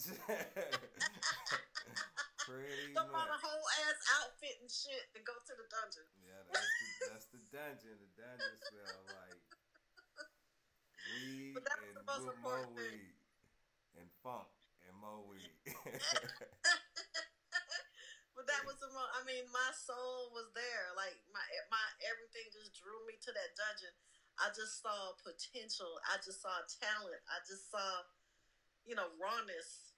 I I, I, I was home. Like you know, hmm I was just home. I just knew I was home. Everything that I, you know, I, I knew I wanted to learn how to make records because I, I I went back to I'm going back to that dream it and do it thing. You know, after I learned I sold records, learned how to promote records at the radio station, became that rate that record person that I always wanted to be.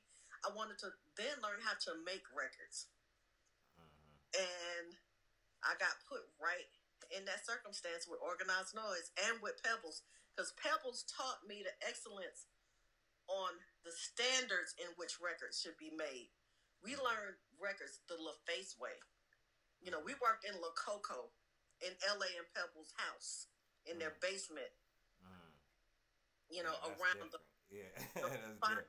They were they were spending money at that time. That was it was all baby. You know, it was that's the it was coming. It was happening at that time, and I was fortunate enough to record her albums with her, um, and learn the Reid way of recording excellent records. From the way that the studio needed to be set, to the types of tapes we needed to buy, to the the engineers that needed to be sitting at the boards to get the warm sounds that we needed for those records to sound as thick as they sound, the type of gear that we had to rent and have, mm-hmm. mm-hmm. the, you know, all of that, Yeah. all of that, the racks, the gear, the filters, you know, the, everything, the And type these of are the real that we ones, not the plug-ins. These are the, the dang real racks. the yeah, the real you know. The real move. Yeah. you know, made by the move Man, you know, the Mhm. real SP12, you know, the real stuff, you know, the, uh, it, it, it, it was the real thing. yeah. And I was fortunate to be able to learn excellence simultaneously as working in the gutter with these boys making this, these records, these hits, you know, so that when we when I had to create that studio environment for them and book these sessions for them, I knew what to ask for because I was learning the Reid way of doing it. And it was par excellence, the best of the best. Yeah, yeah. That was that was the the the, the bar that was set. Mhm. That was set on how to record records in Atlanta and for them to be accepted commercially, commercially, to be deemed commercially and technically acceptable, which is a contractual term in an agreement that a mm. label will will accept your record upon that condition. That That'd be is commercially, Technically technically, and commercially and commercially acceptable. acceptable. That Mhm. means there's no doubt about it. It That shit better sound good, and you better look good, and it better be some something I can sell. That's what's up. That's crazy. So yeah, so it's really just about knowing the contract that you're setting up Mhm. and what you're doing. hmm And these days, those contracts are null and void. Like they're unacceptable. The contracts, the contracts that we grew up on in this business, they're unacceptable today. Mm. You know, because now this 360 deal. Because now it goes back to that conversation of this 360 deal. Like, why are we? Why are they drawing from my my concert sales and my sponsorships Right. and my marketing and my Merch children? Like, you know. They want the they want my dog shit. You know, they want everything. Like, you know, they Yeah. you know they want a piece of everything I do. You know, they want they want rights over my name and likeness, which is also in every record company agreement as well for an artist. Mm. You know, they want they want rights to who you they want your they want to to buy you. Your name and likeness and is likeness. theirs in perpetuity. That's another word people got to look out for in their contract. The the p word, Yeah, when I saw that for the first time, I was like, wait. perpetuity. what is this? if now if y'all don't know what perpetuity mean, y'all better GTS Google that shit because when it comes up in your contract, that means forever, forever, ever, Forever. Forever, yeah. ever. In and it's normally not forever in your favor. That means you giving up something for the rest of your life. Yeah. Forever.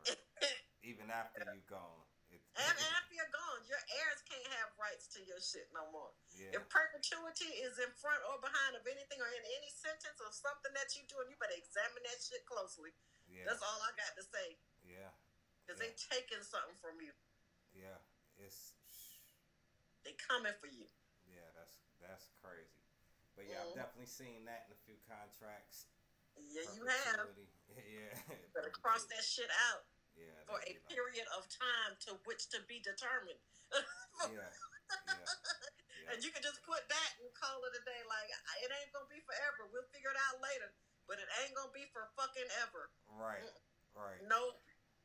How do what do you think about this? time, TBD. What, what do you think about this? These new services that are um, offering to buy like these indie catalogs and stuff like that. hmm Um, they're out there. They've always been out there. Um, a friend of mine named Richard Perner, who's probably one of the richest men in publishing out here, it does that. You know, he buys up catalogs. He buys up publishing. Publishing is a dirty game. Michael Jackson was the king of publishing. Man, I just saw an article yesterday that said he uh, bought Eminem's publishing. I did not yeah, know Eminem that. was talking shit. So Yeah. he's like, I'm gonna buy your fucking records, boy. And now we're gonna see who's gonna be talking that shit. Um, Michael, whatever his name is, Marshall. Marshall, yeah, little Marshall. Marshall. Man, I'm just gonna buy your records, Marshall. I said, talking all that man, shit. Mike was gangster, man. He just bought his catalog. Like, oh, okay, you want to mention me? Look at this. Michael Jackson owned the Beatles catalog. yep, the Beatles. He just, yeah, that's He was the king. Y'all thought this this ass was the king of pop. Michael Jackson was the king of publishing. yeah. Didn't he have some of Elvis? Yes, sir. Yeah, King of publishing. yeah, yeah, yes. yeah. Mike Yes. is Little blanket, little blanket is a rich little baby. yeah. Blanket he got ain't no money. baby no more. He gotta be. He ready. Blanket straight. I'm gonna put it like that. Yeah, blanket he good. Other kids, they straight. yeah. They Oh, daddy owns some records. Right, right, right. And he, man, that's what I'm saying. Like Mike, they say he owned like a piece of everybody at Sony. That yeah, and they and that's they say that's why he he's got it here. What? Why he's not here no more. That's part of the quote unquote conspiracy. What? Because he just owned a little bit too much of the wrong person shit. Damn. That's a So dirty they game. so they say. they say, yeah, it's Mhm. a dirty game. I definitely heard Dick Gregory talk about different stuff with Michael Jackson, and I'm like, yo, who knows? Who Know that um, when you start playing with people's money, anything can happen. Yeah, Anything Yeah. yeah. Um, I know what else I wanted to ask you too, like, cause I know that you, like, I remember the dungeon, the dungeon family was hitting hard, like, from '94 to at least '97, eight, Mm-hmm. and during that time, Tupac and Biggie was both killed. I wanted Yeah. to ask you, like being in the like industry and and actually selling records and stuff at that time, like did it did it have like a big effect on what was going on at the time or did it affect y'all at all? Like how how what what was that like? To be from the south because that's the difference. It's like it was an east coast west coast thing and then And then the South was in the middle. right. Yeah. So I mean, I, it didn't affect us directly, you know, in terms of us how we did our business, us making our money. Um, I would say it was more of an emotional effect, you know, because we were neutral. You know, they were cool with Biggie and they was cool with Pop. Mm. You know, so you know we was cool with Puffy and that whole camp. Mm. You know, so because Puffy shot the first OutKast the video OutKast OutKast video yeah so for that to happen in the industry in, in which we were coming of you know getting getting out coming into our who we were you know in, into into prominence i should say um it was hard because you didn't know you know you you knew it was something between them you know, it wasn't a east. It wasn't a southern thing. You know, it was an East Coast West Coast thing, and you know, we still had to prove ourselves and make a name for the South in this. And as the East and the West were battling, busy battling, the South kind of wiggled its way through and rose to the top. You know, that's when we saw our best days when they was busy fighting. really I mean, that's how I look at it. You know, you got this all this other stuff going on. You know, the the, the energy is clear. Like the inner, there's a clear block that gave us a path through.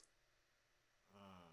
Because we wasn't involved in none of that shit yeah it was like no attachment at all really I at mean, all. You know, and it wasn't just for us. You can look at the Geto Boys. You can look at, you know, what was happening with Eight Ball and MJG. You know, Memphis Rose. You know, the Florida, Luke and them. You know, it wasn't just Atlanta. It was the South as a whole. Mm, yeah You know, we New all we had Orleans. really had a time to shine from Houston and UGK, you know, and, and, and Geto Boys and all of us, you know, yeah, yeah that's the Master P and them, all of us, every the South, the whole South Coast lit up. mm. i know it was all at the same time too It was like a chain reaction. You had Atlanta popping off, then you had doggone Texas popping off. You got Houston popping off. You got doggone Miami popping off. you know, Yeah. you got Memphis doing their little thing up there with doggone uh uh the boy name the the, the triple six mafia and them, Crunchy. Black and them, Crunchy Black and Paul and- Paul Wall and them. Mhm. You know, Mhm. it was just a lot of different things happening for a lot of you know for great Mississippi was popping a little David Banner and them emerged out of the ashes Uh, I mean it was just a beautiful whole southern emergence over a period of time Right, that's crazy. And it's kind of like, I, I mean, in my mind, it feels like y'all touched all of it because I don't, I can't think of many people that did not. If you came to Atlanta, you came to the dungeon.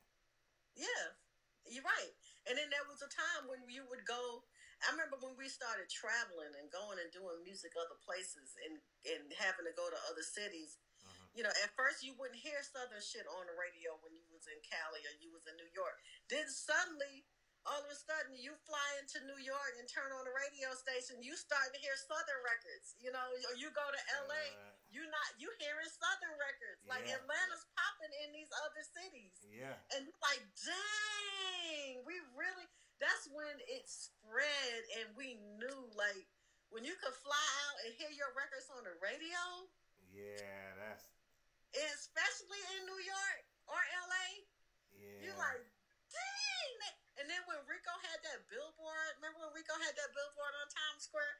Man, you couldn't tell us nothing. And then you doggone go into doggone the Gap and Waterfalls is playing, you know, in the damn Now that's yeah, that's man. It was like on Yeah. top, like top of the world. Like that's crazy, and all Mhm. that come from just grinding. grinding, just just Grinding. Wow, that's crazy. Yeah, building a family, building a legacy. Yeah, yeah. and it's a it's a beautiful legacy. And you know, somebody asked me how I felt about it, and I'm like, I don't know how I feel about it because to me that was just that's just my life. I lived it. You know, hmm I lived by the beat like they lived check to check. If they didn't move their feet, then we, don't didn't eat. eat. So we was all like neck to neck. yeah, yeah, So I mean, I just that was my life. yeah. I, I don't I don't know anything else. Wow, that's crazy. Yeah. That's how my kids grew up.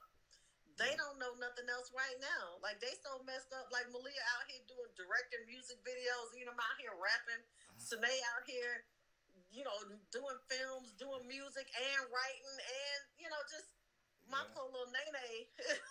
she just so creative. She can't help herself. You know, I Do- watch them. I watch them all. I see Malia doing her thing. I see E, Sade.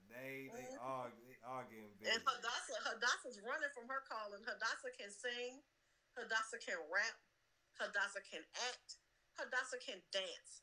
Hadassah is a star, and she is just running from. She's like, I don't want to be out there like that. You know, people make me sick. You know. but I don't know what I want to do with my life. I'm like, I'm telling you, the reason why you don't want to do what you what you don't know what you want to do with your life is because you're running from your calling. You know, we hear Hadassah ha- rapping and singing in the doggone bathroom and stuff. Her g- good. I mean, excellent, good. Like she just don't want to do it. She just hard headed. yeah, maybe I. Uh, I don't know. Maybe one oh, day don't we'll see. But she day. she's the one. She's the, she's our saving grace. She's our ticket out here, and she won't the- act right. She the one, and she don't want it. I've seen her dance. She gets busy. She get busy. yeah. She get busy. Yeah, she She's busy. she just don't want to fall in line, and, and you know it's. I call it hashtag hustle Hadassah. She don't want to do it. She like y'all ain't hustling my ass. I'm going to work at doggone Chick Fil A. That's funny. That's funny. Wow. yeah. Yeah, man, that's good. That's good shit. That's good shit. But yeah, I was, I definitely, I was there. They all grew up right there in the Mhm. music, in the studio, just there in the office. Mm-hmm. Everywhere. Yeah. And it's beautiful now that they're grown because now, you know, they all hang together. Like I call Enum, I'm like, Enum, where you at? Oh, I'm at Uncle Rico house with Deuce and Ryder, me and Sine. You know, we'll be back tomorrow. I mean, me and Hadassah, we'll be back tomorrow or maybe the next day. Yeah, I I'm saw like- his birthday just passed. He was with Reed. he was over there with Man, Rico. that thing was so funny. I was on live with them. Like I was, they had me on like that FaceTime. You know, you can FaceTime with like three or four people now. Uh-huh. So I'm on FaceTime with Rico and Enum. Enum is in Rico's living room shaking up a bottle of Veuve Clicquot. Not not no Andre. yeah, yeah. a goddamn two hundred fifty dollar bottle of champagne. He in there trying to open it, and he's like, "Well, let me just shake it up." All you see is Rico go.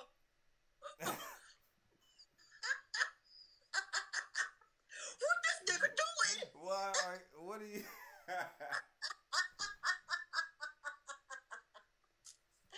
That shit was so funny. Oh, He's like, hold yeah. on, hold on, hold on. He done let he left the chair, Man, that's hilarious. ran upstairs. But it, you know, you they they live such good lives. They Yeah, do. Yeah. they That's, have great lives, and now that they're all grown and they're together, and it ain't nothing that we have to force. You know, it's a Mhm. beautiful thing, especially for them boys.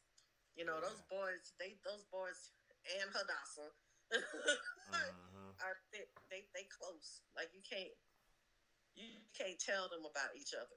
Them Yeah. That's their cousins, and ain't nothing you can do about it. Right. Right. And they either they gonna be over here eating up everything, or they they gonna be at Rico house eating up everything.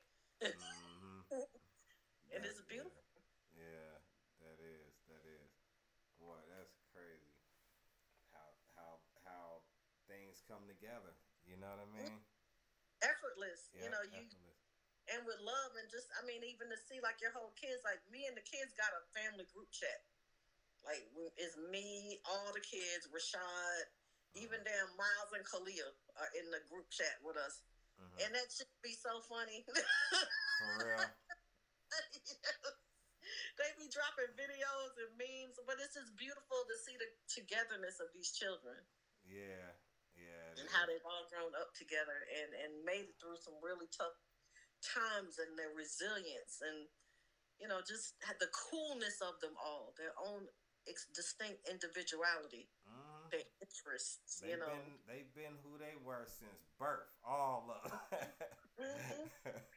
yeah all Yeah. of but the beautiful thing is that the, is the love they share the Uh-huh. the true love that all them kids share Yeah. you know and and that makes all of this worth it every every every struggle that we've had every you know tear every worry every dime is worth it to see them kids happy and growing up and and being together Yeah.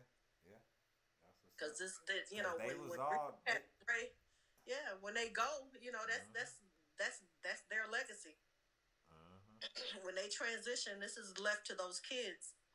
And you know, I was talking to them the other day, and I was like, "Do you?" I said, "I don't even think y'all fathom what you're you you stand to inherit." You know, I'm like, think about what your dad does every day for the past, eh, eh, however long you've known him 25, 30 years. Every day he's gotten up, gone to the studio, made beats all day long Yeah. all day long. Most of them have never even seen the light of day. Nope. He just archives them. Archives them. I'm like, you have a treasure trove. It's like owning a city. It's like owning a, a, a owning continents of houses. You know, like hmm I don't even think they comprehend what is still going on to this day. You know, and that's one of the reasons. Like I was like, I need one of y'all to be a lawyer up in this bitch because y'all got some shit that y'all gonna have to Right. deal Because with. that's the thing. Like it's all. I think that's what it's about right now is how we can um reclaim our, I guess, the worth in our art.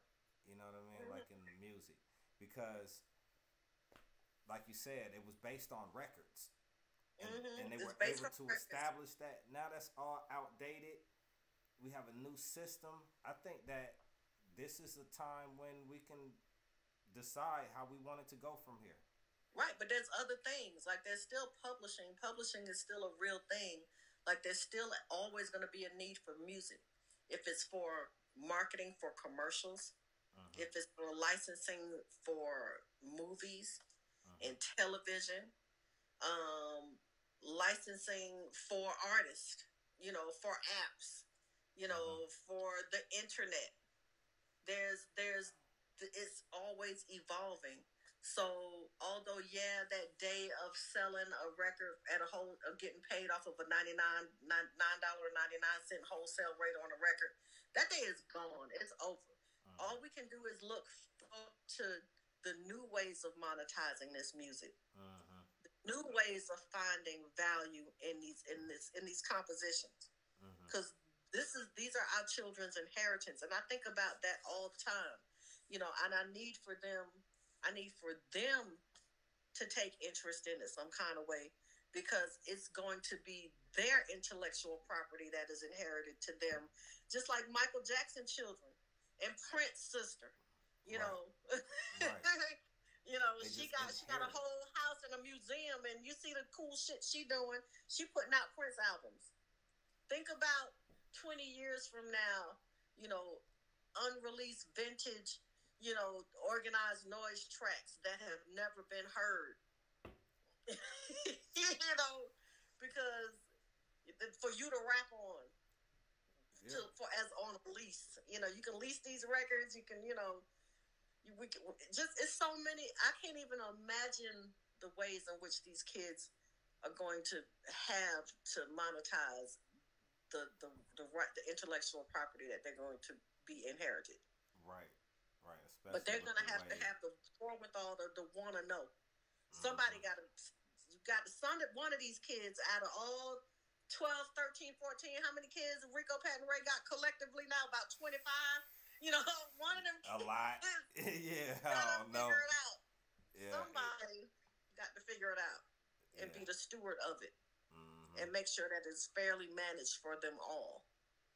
Because it's going to go to their children, to their children, to their children. And right now, you know, as we thought about what was happening in the now, like I think about what's happening, what we're leaving for our, our generations to come.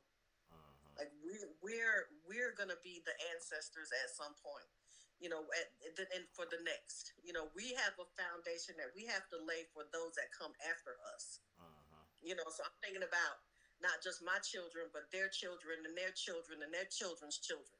Right. You know, if this foundation is laid properly, none of these kids will ever have to work again. Mm. They will always have something of value that is passed down to them Mhm. from their fathers. Mhm. And that's where my head is at. Mhm. You know, I don't know what what everybody else is thinking about when it comes to, you know, our future and our planet and our legacy and our children and you know our us as adults. You know what we should be doing. We're in our fifties now. Mhm. Like it's time for niggas to get some damn sense and think about what's think about the future and what's ahead. Mhm. Mhm. Mhm. That's deep. That's deep because that's what it's worth. That's what that's what it's about. We see other people eat off of their children's eat off of their legacies, off of their catalogs, off of their music that they put out, and it and that's what that's what we in it for, right? That's what. Why else am I here? yeah, that's what we in But to create the universe. Yeah, to create the universe in which my children are going to live. And we all living in this. We live in a universe together. Like we all, we all came up together. You know. And I'm sorry that your interview has gotten a lot personal, but you know, we're a part of a world. You know, Mhm. and we have children that we're responsible for. Mhm. you know, that are going to grow up and be adults together. Just like we're adults right now. Yeah. You know, Yeah. our kids are going to be relating like that when we're gone. Mhm. And their kids are going to be relating like that. Yeah. They're relatives. They're going to relate and be in relationship with each other, Mhm. you know, Yeah, that's deep. That's deep. and it's beautiful. Mhm. Well, the, the the theory is that if they don't have to worry about the struggle, then they ha- and they have the you know the resources. It's no telling what they can do from there. hmm You know what I mean? It's Just, yeah, just like they, our parents was thinking, ain't no telling what they gonna do, but we, what we gonna do. right. Uh, my grandparents had no idea the internet was going to be out here popping like this. Yeah. Nobody knew. Nobody knew. That we was going to be talking face to face, doing an interview that millions of people have the potential to see. Mm-hmm. That technology was not in the in the thought process of our predecessors. Predecessors. Right. Right. But it's So what's now. to come for our children and their children are not even in our thought process right now. We can't think that far. You know, Mhm. can only imagine what they're going to see, but you know, Yeah. So what we lay down for them now is is going to be the foundation that can help them, you know, go out into that world and be fruitful and be productive and not have to worry about things that we've had to worry about. Mm-hmm. Mm-hmm. Yep, that's that's facts. That's facts. Um, I know what else I wanted to ask you. In in in all of the in all of the projects that you have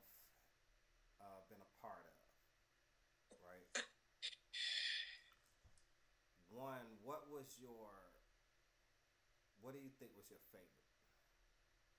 Mm. Mm. Oh. oh, maybe Kilo. Kilo for real? The organized organized Bass? Bass. Organized Bass and Kilo. Yes. Working with King James and and and, and uh, oh my gosh, DJ Taz and you know DJ Red and seeing you know that because to me Kilo was a legend. Like Uh-huh. you know, I grew up with "Do you hear what I hear? That boom, that boom. Ooh, I like that boom in the car." You know, so when we signed Kilo, I was like, yeah. I get to do a record with Kilo. That's hard. So for me, yeah, but then, you know, on the real, I want to say also Curtis Mayfield. Yeah. You know, we did the last record with Curtis Mayfield before he he passed on. Now it was uh, After his Here But I'm. Gone, right? Here, but I'm gone. Here But yeah. I'm Gone. Yeah, that's one of my Yeah. favorite records. Yeah. and we had to you know he was paralyzed when he did that record he hadn't he that was the first record that he had recorded since he had had that accident and the reason why it was so special to me is because i worked at capitol when he had the accident. Oh, really? i was there. I remember the day it happened. He was he was one of our artists. We I remember when he was in the hospital, we had this big old card that we had made for Curtis Mayfield and everybody signed it all around the country and we had it sent to the hospital. Like I remember all of that that happened when I was working at Capitol. And then fast forward years later, you know, I you know, no, first we're working at his house at Curtom on the Goodie Mob record. So I'm like, oh shit, we in Curtis Mayfield house. You know, just his son is Todd. I get to meet Todd, you know. We're mm-hmm. working together, like this shit is cool. And then, you know, we meet Carlos Glover. Carlos Glover is is Curtis Mayfield engineer. You know, these his people. We working at Curtom. We can go to Curtis' house, you know, and then we get to record this record with him. Like, you know that, that I get to work with Curtis Mayfield's attorney. You know, he was cool. Me and Curtis Mayfield became friends. He would call me. What? You know, and I mean, yes, like I would be at the office on Ralph McGill, and he'd be like, "Hey, baby." For real, We- just hit you up like, what's happening?" yes? Curtis would just be hitting me up like, "We going in the studio next week?" You know, I just want to know because you know. Yeah. I'm like, Mr. Mayfield, oh my gosh. Oh, like, that's we became friends, Wow. like for real. Like he would call me and talk to me, like for real. And I would go to the studio, like and see him, and he would have to. They would have to bring in like a gurney of sorts Mhm. for him to record, and it would be tilted so that he was hanging kind of invertedly upside down in order to sing because his vocal cords were kind of paralyzed and in order for him to relieve his vocal oh, cords so it kind of like give make it looser for him to be able to. hmm so if he if he had to record upside down like at an angle with his head tilted down and his feet up. Oh, and we had to set that up when he had for him when he went in the studio Damn, that's what I see. That's stuff I would never have known that. Like I can't even. That's Mm, that's determination, really. That's just real. Yeah, just and then we recorded that record, and then, and then that Christmas he died. And I remember being at Pat's house for Christmas Eve, Christmas Day dinner. Aretha, Pat's wife, used to have this big Christmas Day meal, and we would bring all the kids over. All of the families would be together. You know, all the wives, all the kids, all the guys. You know, they'd be down in the basement playing pool, getting drunk, like just having a great dungeon family time. And we got the news that Curtis passed mm. on Christmas. Mm, mm, That's Mm. sad. I remember that vividly. We were at Pat's house. I remember that. Mm-hmm. How was it the label when when the accident happened? That was Oh, that was devastating too because he was in concert and a and a, a light fixture fell on him. Wind blew. He was at a concert somewhere. I can't remember where, and wind blew a light trellis on him. what? That's wow. It was like a like just a fluke accident.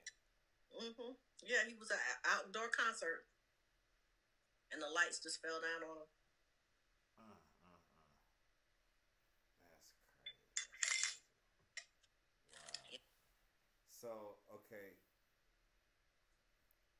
Then the other thing I would have to ask you is because I'm looking at it like, you know, y'all were in the business of selling records. So I know everybody was cool, but it's still competitive at the same time, right? hmm I wanted to know how competitive were was it really between like organized noise when when it was a label versus like Bad Boy. Mm, I don't really kind of know what you getting at. Well, I've heard I've heard stories that it was a back and forth thing. Like they were trying like like Puffy was kind of driven to outsell specifically like OutKast and OutKast was that was their competitors like in order to stay number 1 they had to compete with the bat with Bad Boy. You know what I mean? I mean, well, we all kind of had to compete with them crews, but I, you know, I don't really know that that too much. You know, I didn't really have to have to get into that. My job was making sure them records got done. You know, Ah, okay. Okay. You know, so you so- wasn't you didn't Yeah, see like- if it was like a cuz I just wanted to know how like cuz especially knowing how competitive like a puff like Puffy is with Yeah, everything. I wanted to know like in that moment where everything was just crunch time, you had the height of like kind of the hit like like to me that's when rap music started selling like to a Yeah. level where it was like okay, it's not just something that's like a little kiddie street music now. This is like number one mainstream genre urban Right. music. You know what I mean? Right. So from my perspective, again, it went back to the making of the records. And what mm-hmm. we had to do, our challenge was making sure that that music was up to par.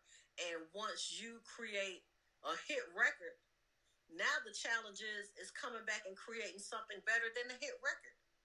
So for us, it wasn't necessarily competing with Puffy or some of these other outside entities. For us, it, for me, from a sonically sound and commercially and technically acceptable perspective, we was competing with ourselves. You know, we had to make sure that the, the the record, the next every record that we did was better than the last one that we produced, and that shit got hard after a certain time and became challenging. So, you know, yeah, there was a lot of other external stuff going on, but my focus was purely internal in terms of making sure that we had quality con- quality control was my biggest concern, and making sure that we had exceptional product for the labels to market, to hand over for Shanti to market and make and package pretty and, and have something to sell. Something for LA to be twirling around in the studio and oh yeah, this you know, you know, something for him to be calling Puffy. I got this, you know. That was that was our job. That was my job mm-hmm. was to be call him and be like the record's done. Yeah. You know? Yeah. Go. Right. And knowing that we can sit back and know that they're gonna be listening to it and their heads are gonna be blown off. Mm. That was my concern. It wasn't what was going on around me outside. It was what was going on inside, and making sure that their music and that product was was up to par. So, and you did that not by comparing it to what anybody else is doing, but by comparing it to what We was were the already standard for what y'all had did already. Mm-hmm. Mm-hmm. Because Goodie Mob couldn't come out sounding like another OutKast.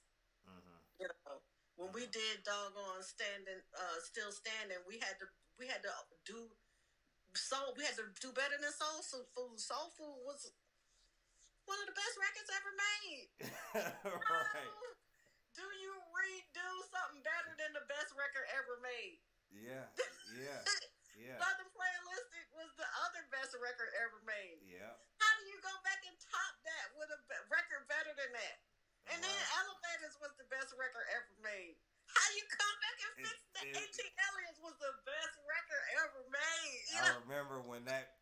It was always to me. It was always when you listen to it for the first time from start to end. That's when it was like. And the okay. sequence is right. Yeah. You know, and for us, that might be 10 or 12 sessions until we get the sequence perfect. Mhm. Until we get the order right in which these records are going to go to make that impact for people to be like, oh my God. You know, like this record is a banger. And it all, the, the sequence of the records makes a difference. People don't realize that. The order in which you put them records in determines how you're going to react to them. Yep. Yep. And that's what I miss now. It's hard to find those albums that's Because like. they nobody making albums no more. They don't take the time to put them together. Nope. They don't do five or six six different sequences and live with them, and then be like, no, no, no, we gotta take that out, put that in. You know, uh-uh, that record don't work no more. Just get that record from three weeks ago or, or Mm-hmm. two. Mix that and put that in with this and see how it sounds. You know, they don't know that. Yeah. There's, a, there's no value in, in compiling an album anymore hmm to that pers- to that perspective. Yeah. Because I know the first time I heard something like Southern Playalistic or like those albums back then, they played out like movies. Like Lil Will's album. Yeah. Oh, it was like a movie. Yeah. plays out like a doggone movie. Mm-hmm. Mm-hmm. I mean, and there's an art to sequencing them records. You get an engineer just to sequence the records with you. You know, Yeah. it's, it's the art to it. Yeah. Yeah. It is. It gotta Um, be. It gotta be done right. Yeah, so the quality control was my biggest concern, and and you know, when every record you do is the best record ever made, you got to do better than that. You know, so Yeah. at some point you just like, dang, you know. Mm-hmm. mm-hmm. Wow, that's crazy. Mhm. yeah. Yeah. Yeah. Which yeah. doctor got to be different from Cool Breeze? Cool Breeze got to be different from Black Backbone. You know, Mhm. it just it, you know, and they're all on different labels. So that was the other thing that started happening too. Is like we got fragmented because the one thing that we didn't have was everybody signed to the same label. Mhm. We got all these artists on all these different labels, and all these different labels are competing with each other, Mhm. which in turn caused the artists to have to compete with each other, which Right. was something unnatural for them because they're used to being together. when you they know. stayed together, even in competition with, even with It was hard, though. Yeah. It was hard though because we had to negotiate, you know, those types of things where they could co-promote when they were actually really supposed to be competitors. You got a Goodie Mob and an OutKast record on the charts at the same time on two different labels, and it's like, what the fuck? and you both want them both to win, you know, like. Yeah. Yeah. But you got one label over here being like, we want number one, and you got you got this one over here trying to sell an OutKast record. On you know this team over here promoting OutKast, this team promoting Goodie Mob. You know, and now they clashing because you both want the number one spot. Yeah. To me, that's the mistake we made was having them all on different labels. We should have just had one big label and had everybody on it. But then it, that wasn't. I don't even know when you when y'all started. It wasn't a lot of people with labels yet, right? It was like there wasn't a lot of people with labels. Mm-mm. yeah, it was like a more of a production kind of deal and Mm-hmm. and artist deal, direct artist deals and stuff like that. Yep. Yeah, Yeah. That's, that's crazy. So, do you feel like you had a you played a part in kind of writing the script for how the next uh like decade of music business was done? I do. I mean, I do in a collective sense with a whole lot of people. You know, you had it wasn't just the dungeon. Mhm, You know, you had So So Def. mhm. You had DTP. You know, you had different camps out here that were making just as much an impact as we were. You know, so it was a collective writing of the laws, of the rules, and the laying of the land. Mhm. you know, that that made us all um, collaborate to, to to lay the foundation for what is what we call the new Atlanta. You know, and in that, you know, you you you breed you you just you try to breed and and and, and cultivate the next the next. Yeah. So yeah, Because to me, that's I call it, that's like the goat era of Atlanta. It was like So So Def. It was Dallas. It was Mhm. uh, the Rowdy. dungeon, Yeah, the Yeah. dungeon. and um, that was kind of it as far as hip hop, right? Mm-hmm. I think so. I think disturbing the peace. Yeah. Yeah, I didn't want to And then, name and then at yet. some point you had uh you had blocking them that came out. You know that was later on. Yep, because Yeah. T.I. and I, I will I will put T.I. and Luda in the same class, like hmm Grand Hustle and disturbing the peace. They were the next generation. hmm the you know. next class that came through. And then you had the black the the what BME. BME, and then uh, Mhm. Jazze Pha too. Jazze, Pha. Yep, and then um BME. So BME is like Lil Jon and them, right? Yep, yep, Black Okay. Market, And, and then you had the Attic Crew in them, which is kind of part of the dungeon, but not really, but kind of sort of. And then you had. Noonie in them. You had Noontime. Noontime. Yep. Yeah, you had a lot of stuff that was going on There out here a in lot. That's the indie game started jumping. Mm-hmm, mm-hmm. Yeah. It was popping out here for a minute, like it was crazy, Mm-hmm. but it was a beautiful time. Yeah. A Yeah. beautiful time to make music, and I'm so glad and so fortunate to have experienced it, to to be a part of its development, to be witness to its transformation, you know, and and, and to really have played a, a, a role in it, to, to have part in establishing the foundation.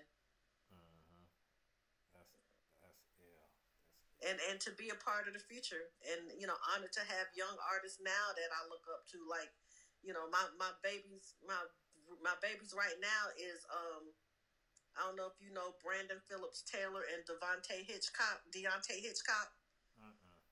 Oh I've heard of it. man. Deante' hitchcock is a beast out here. And his producer brandon i took him to the studio for his very first time in his life when he as a, as a high schooler. And he's one of the top up and coming producers right now. They just did a, a writers camp with Is- Issa Rae with HBO, Mm-hmm. Um, Netflix, all kind of stuff. They're doing all kind of stuff. Deante' Hitchcock, you got to check him out. yeah. he's- I'm definitely gonna look him up. Yeah, I'll send you a link. Okay. This boy is ridiculous. His freestyles are dumb, Yeah. and he's killing the game right now. That's what's up. That's what's up. Yeah, yeah. So, Hero the band, you know, like to, to have young artists, you know, Nisha Nice, you know, that Yeah. that look I up to me, like, their music. I, I, I checked out Nisha Nice at a um a TV show. It was it was like a TV show they were taping, and uh, Mhm. she performed. A couple other artists too, but um I was invited out to see her. Yo, she is wow. Like her, I like her. The energy she has on stage and all of that. Yeah, Nisha Nice is dope. Nisha's gonna be something else, and to you know, so to watch them develop and grow. Like I've been watching Nisha since like maybe 2015 or so. Mhm. You know, um, so just to be a part of their growth and development, and and to be called Mama Dee Dee, you know, to them, you know, or Mama Peaches, you know, is it's an I honor. see how the how the young artists look up to you, and they come like when they come, they look, they soak up game and, and Oh, yeah. move on. You know what I mean? I mean, I even even artists from other areas like Denzel Curry. I'm not sure if you up on Denzel Curry or not. I think so. Denzel Curry, you I think I've heard him. Not like really, really, but I think uh, Malia out of may have- Miami. I think Malia was sharing some stuff from him once. Denzel Curry is a beast. Maybe it was you. I'm not sure. I don't know. If it was and he tours like he's an independent artist out of Miami. He Uh-huh. toured. He just he opened for Billie Eilish. Really. Dope, dope. Yeah, like they big on like they they big like that. Mhm, he mhm. doing he doing Apple commercials now. He got music on Apple commercials now. Nice. And then that's the other thing too. Like, um, I think it's dope that the music that was done back then, when that when when it was like the '90s or whatever, is still popping right now. Like one of my favorite commercials on TV right now is the Sleepy and and and Gipp with the stepping out. You know they got the uh, Spotify commercial. Oh wow. Yeah, I love that man. Just the way it come on with the animation, I'm like, that's dope, man. That's so dope. Yeah. You know what I mean? Oh yeah, But, yeah. That's uh, when you know you've done stuff, and, and music lives on forever. You know that's Mm-hmm. the one thing. Music is the if you if you lay it, lay down the right keys, it's gonna be there forever. Right, right. Great song will never die. That's true. That's true. It will be forever.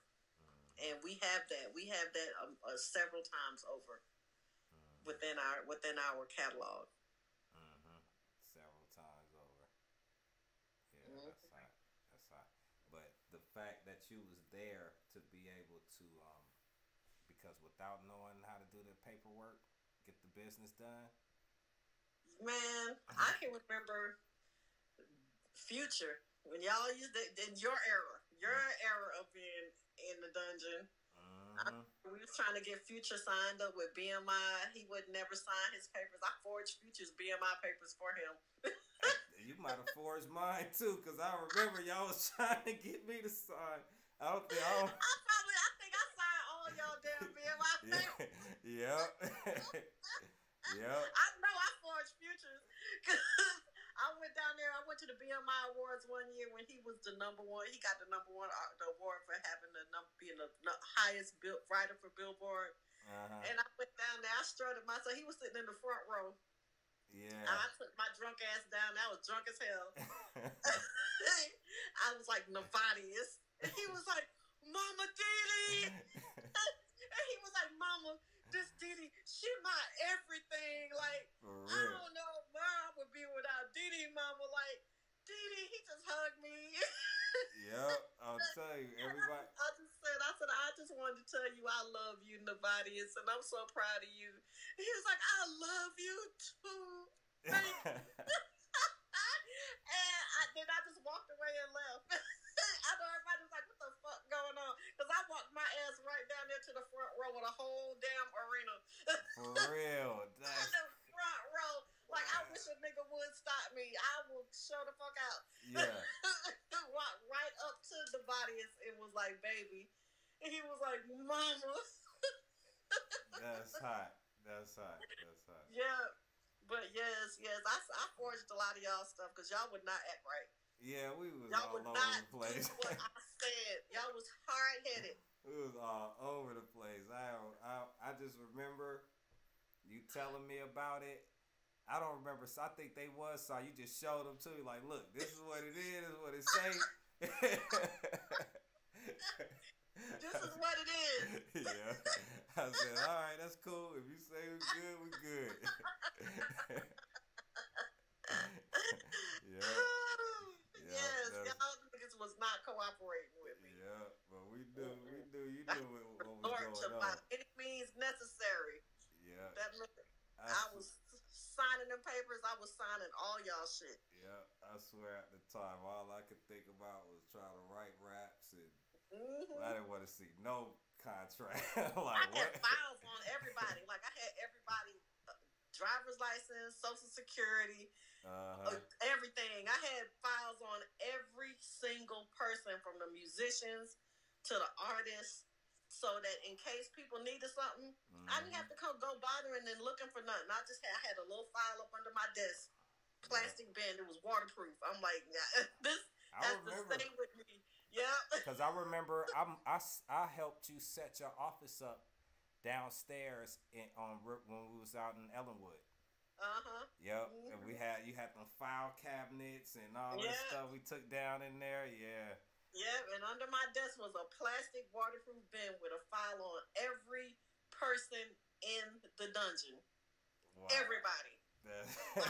ID, your mama name, everything. W two, I nine, W nine, everything. Like Hey, that's that's official right there. I still probably got that that down in this basement right now. Yeah. I I know it's down in my basement right now. Wow, that's crazy. Yeah, on all everybody. That stuff. Yeah, all that stuff. Mm-hmm. Dang, that's Yeah. wild. Yeah. That's real, man. Man, I'm glad you came on here, man. I appreciate Well, thank you for coming inviting on, me. For real. This is This dope. was fun. This dope. Yeah.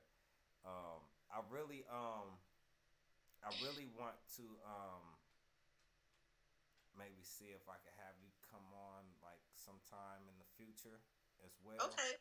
to um just kind of maybe go into some more stuff or whatever. Or like really my vision is that people that I've had on previously I would bring them on like maybe as more like a group chat and we'd discuss other topics. You know what I mean? Like um I had some people on like I'm having um my cousin Nick hopefully I've talked to him come on this weekend like Sunday and he Mhm. just did that film that um that's on Netflix. Uh, don't get me the line about the name of it. Uh, I can't. I always mess it up. My mom was mad at me because she was like, "You told me it was called something else." Um, it's a it's a black film that was on Netflix. I don't want to mess the Okay. name up right now. But anyway, right. With you being in the industry, I would love to maybe have both of y'all come on in the future, and would you know what I mean? And we talk Okay. about talk about that. Yeah, because my you know my life has taken a drastic turn. You know, with with life comes change. The only thing constant in life is change, Yeah. and I've been fortunate enough to take the skills that I've learned in music management Mhm. and apply them to you know a new career in film and Right. location management. And we didn't even talk about. I wanted to talk about the Murray Media Group too.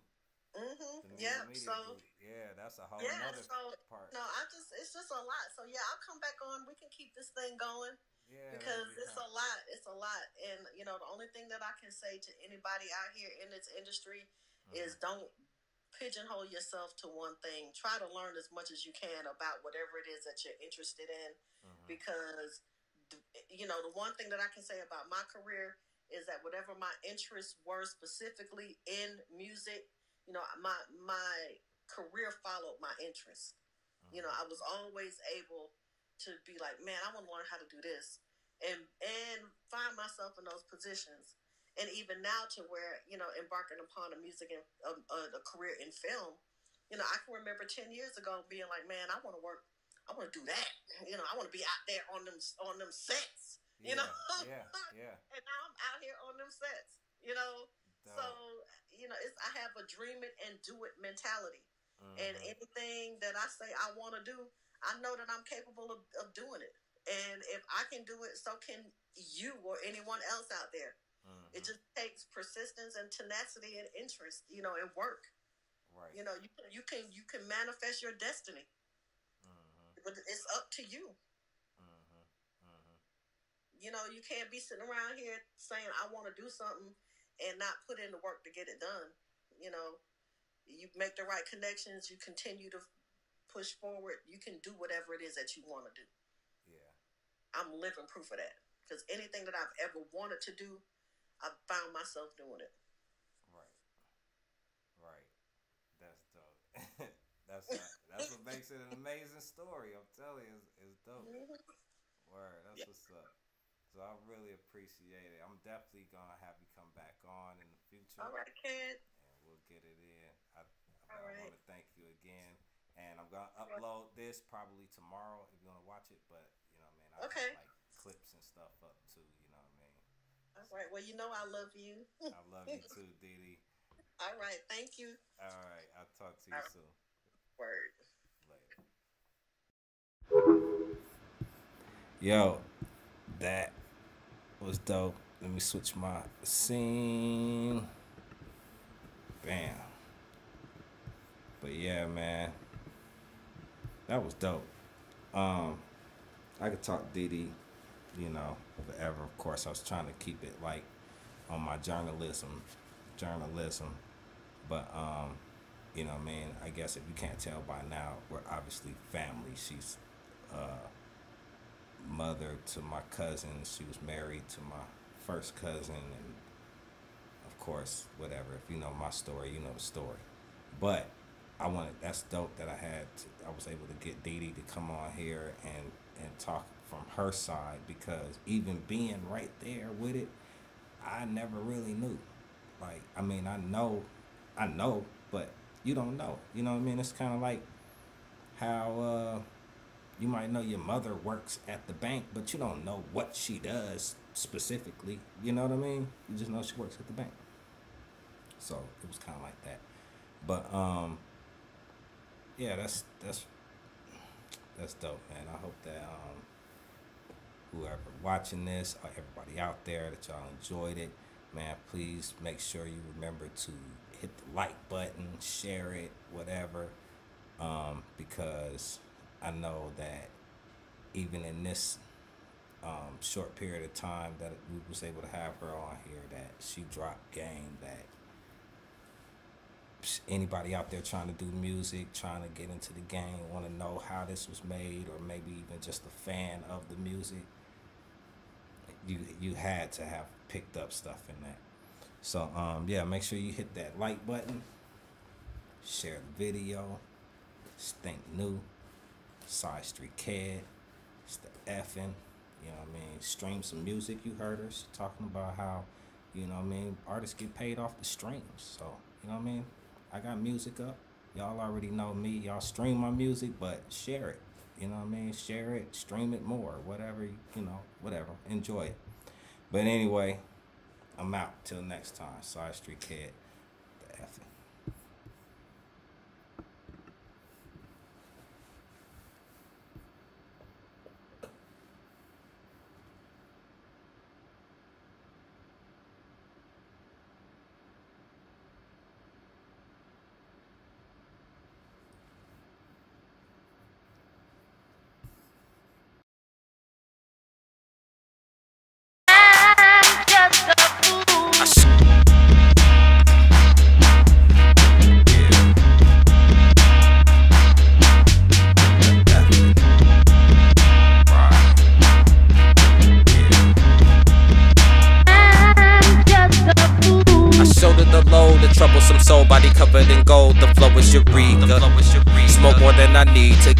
Reason, don't give me the beast. And you get that chef, I be your green like a vegan. I'm black and I'm proud on James Brown, just thinking out loud like Ed Sheeran.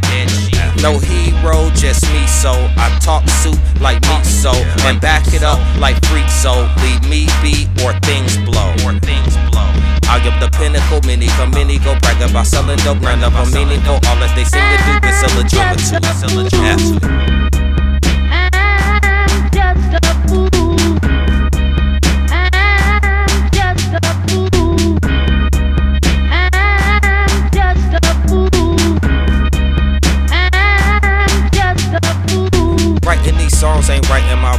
Wrongs, bearing my soul every word that I'm speaking. Give me a reason, balling all week, not just for the week. And now what I smoke so foul, the aroma so strong that it's constantly breathing. Headed to the top, ain't nothing that can stop, but the bottom is where I begin. We can pretend we ain't seeing who's that in my window peeking, peeping in on all my secrets. Who's that round that corner creeping, thinking they gon' catch me sleeping, but they'll never catch me though. It's the effing, ain't no question.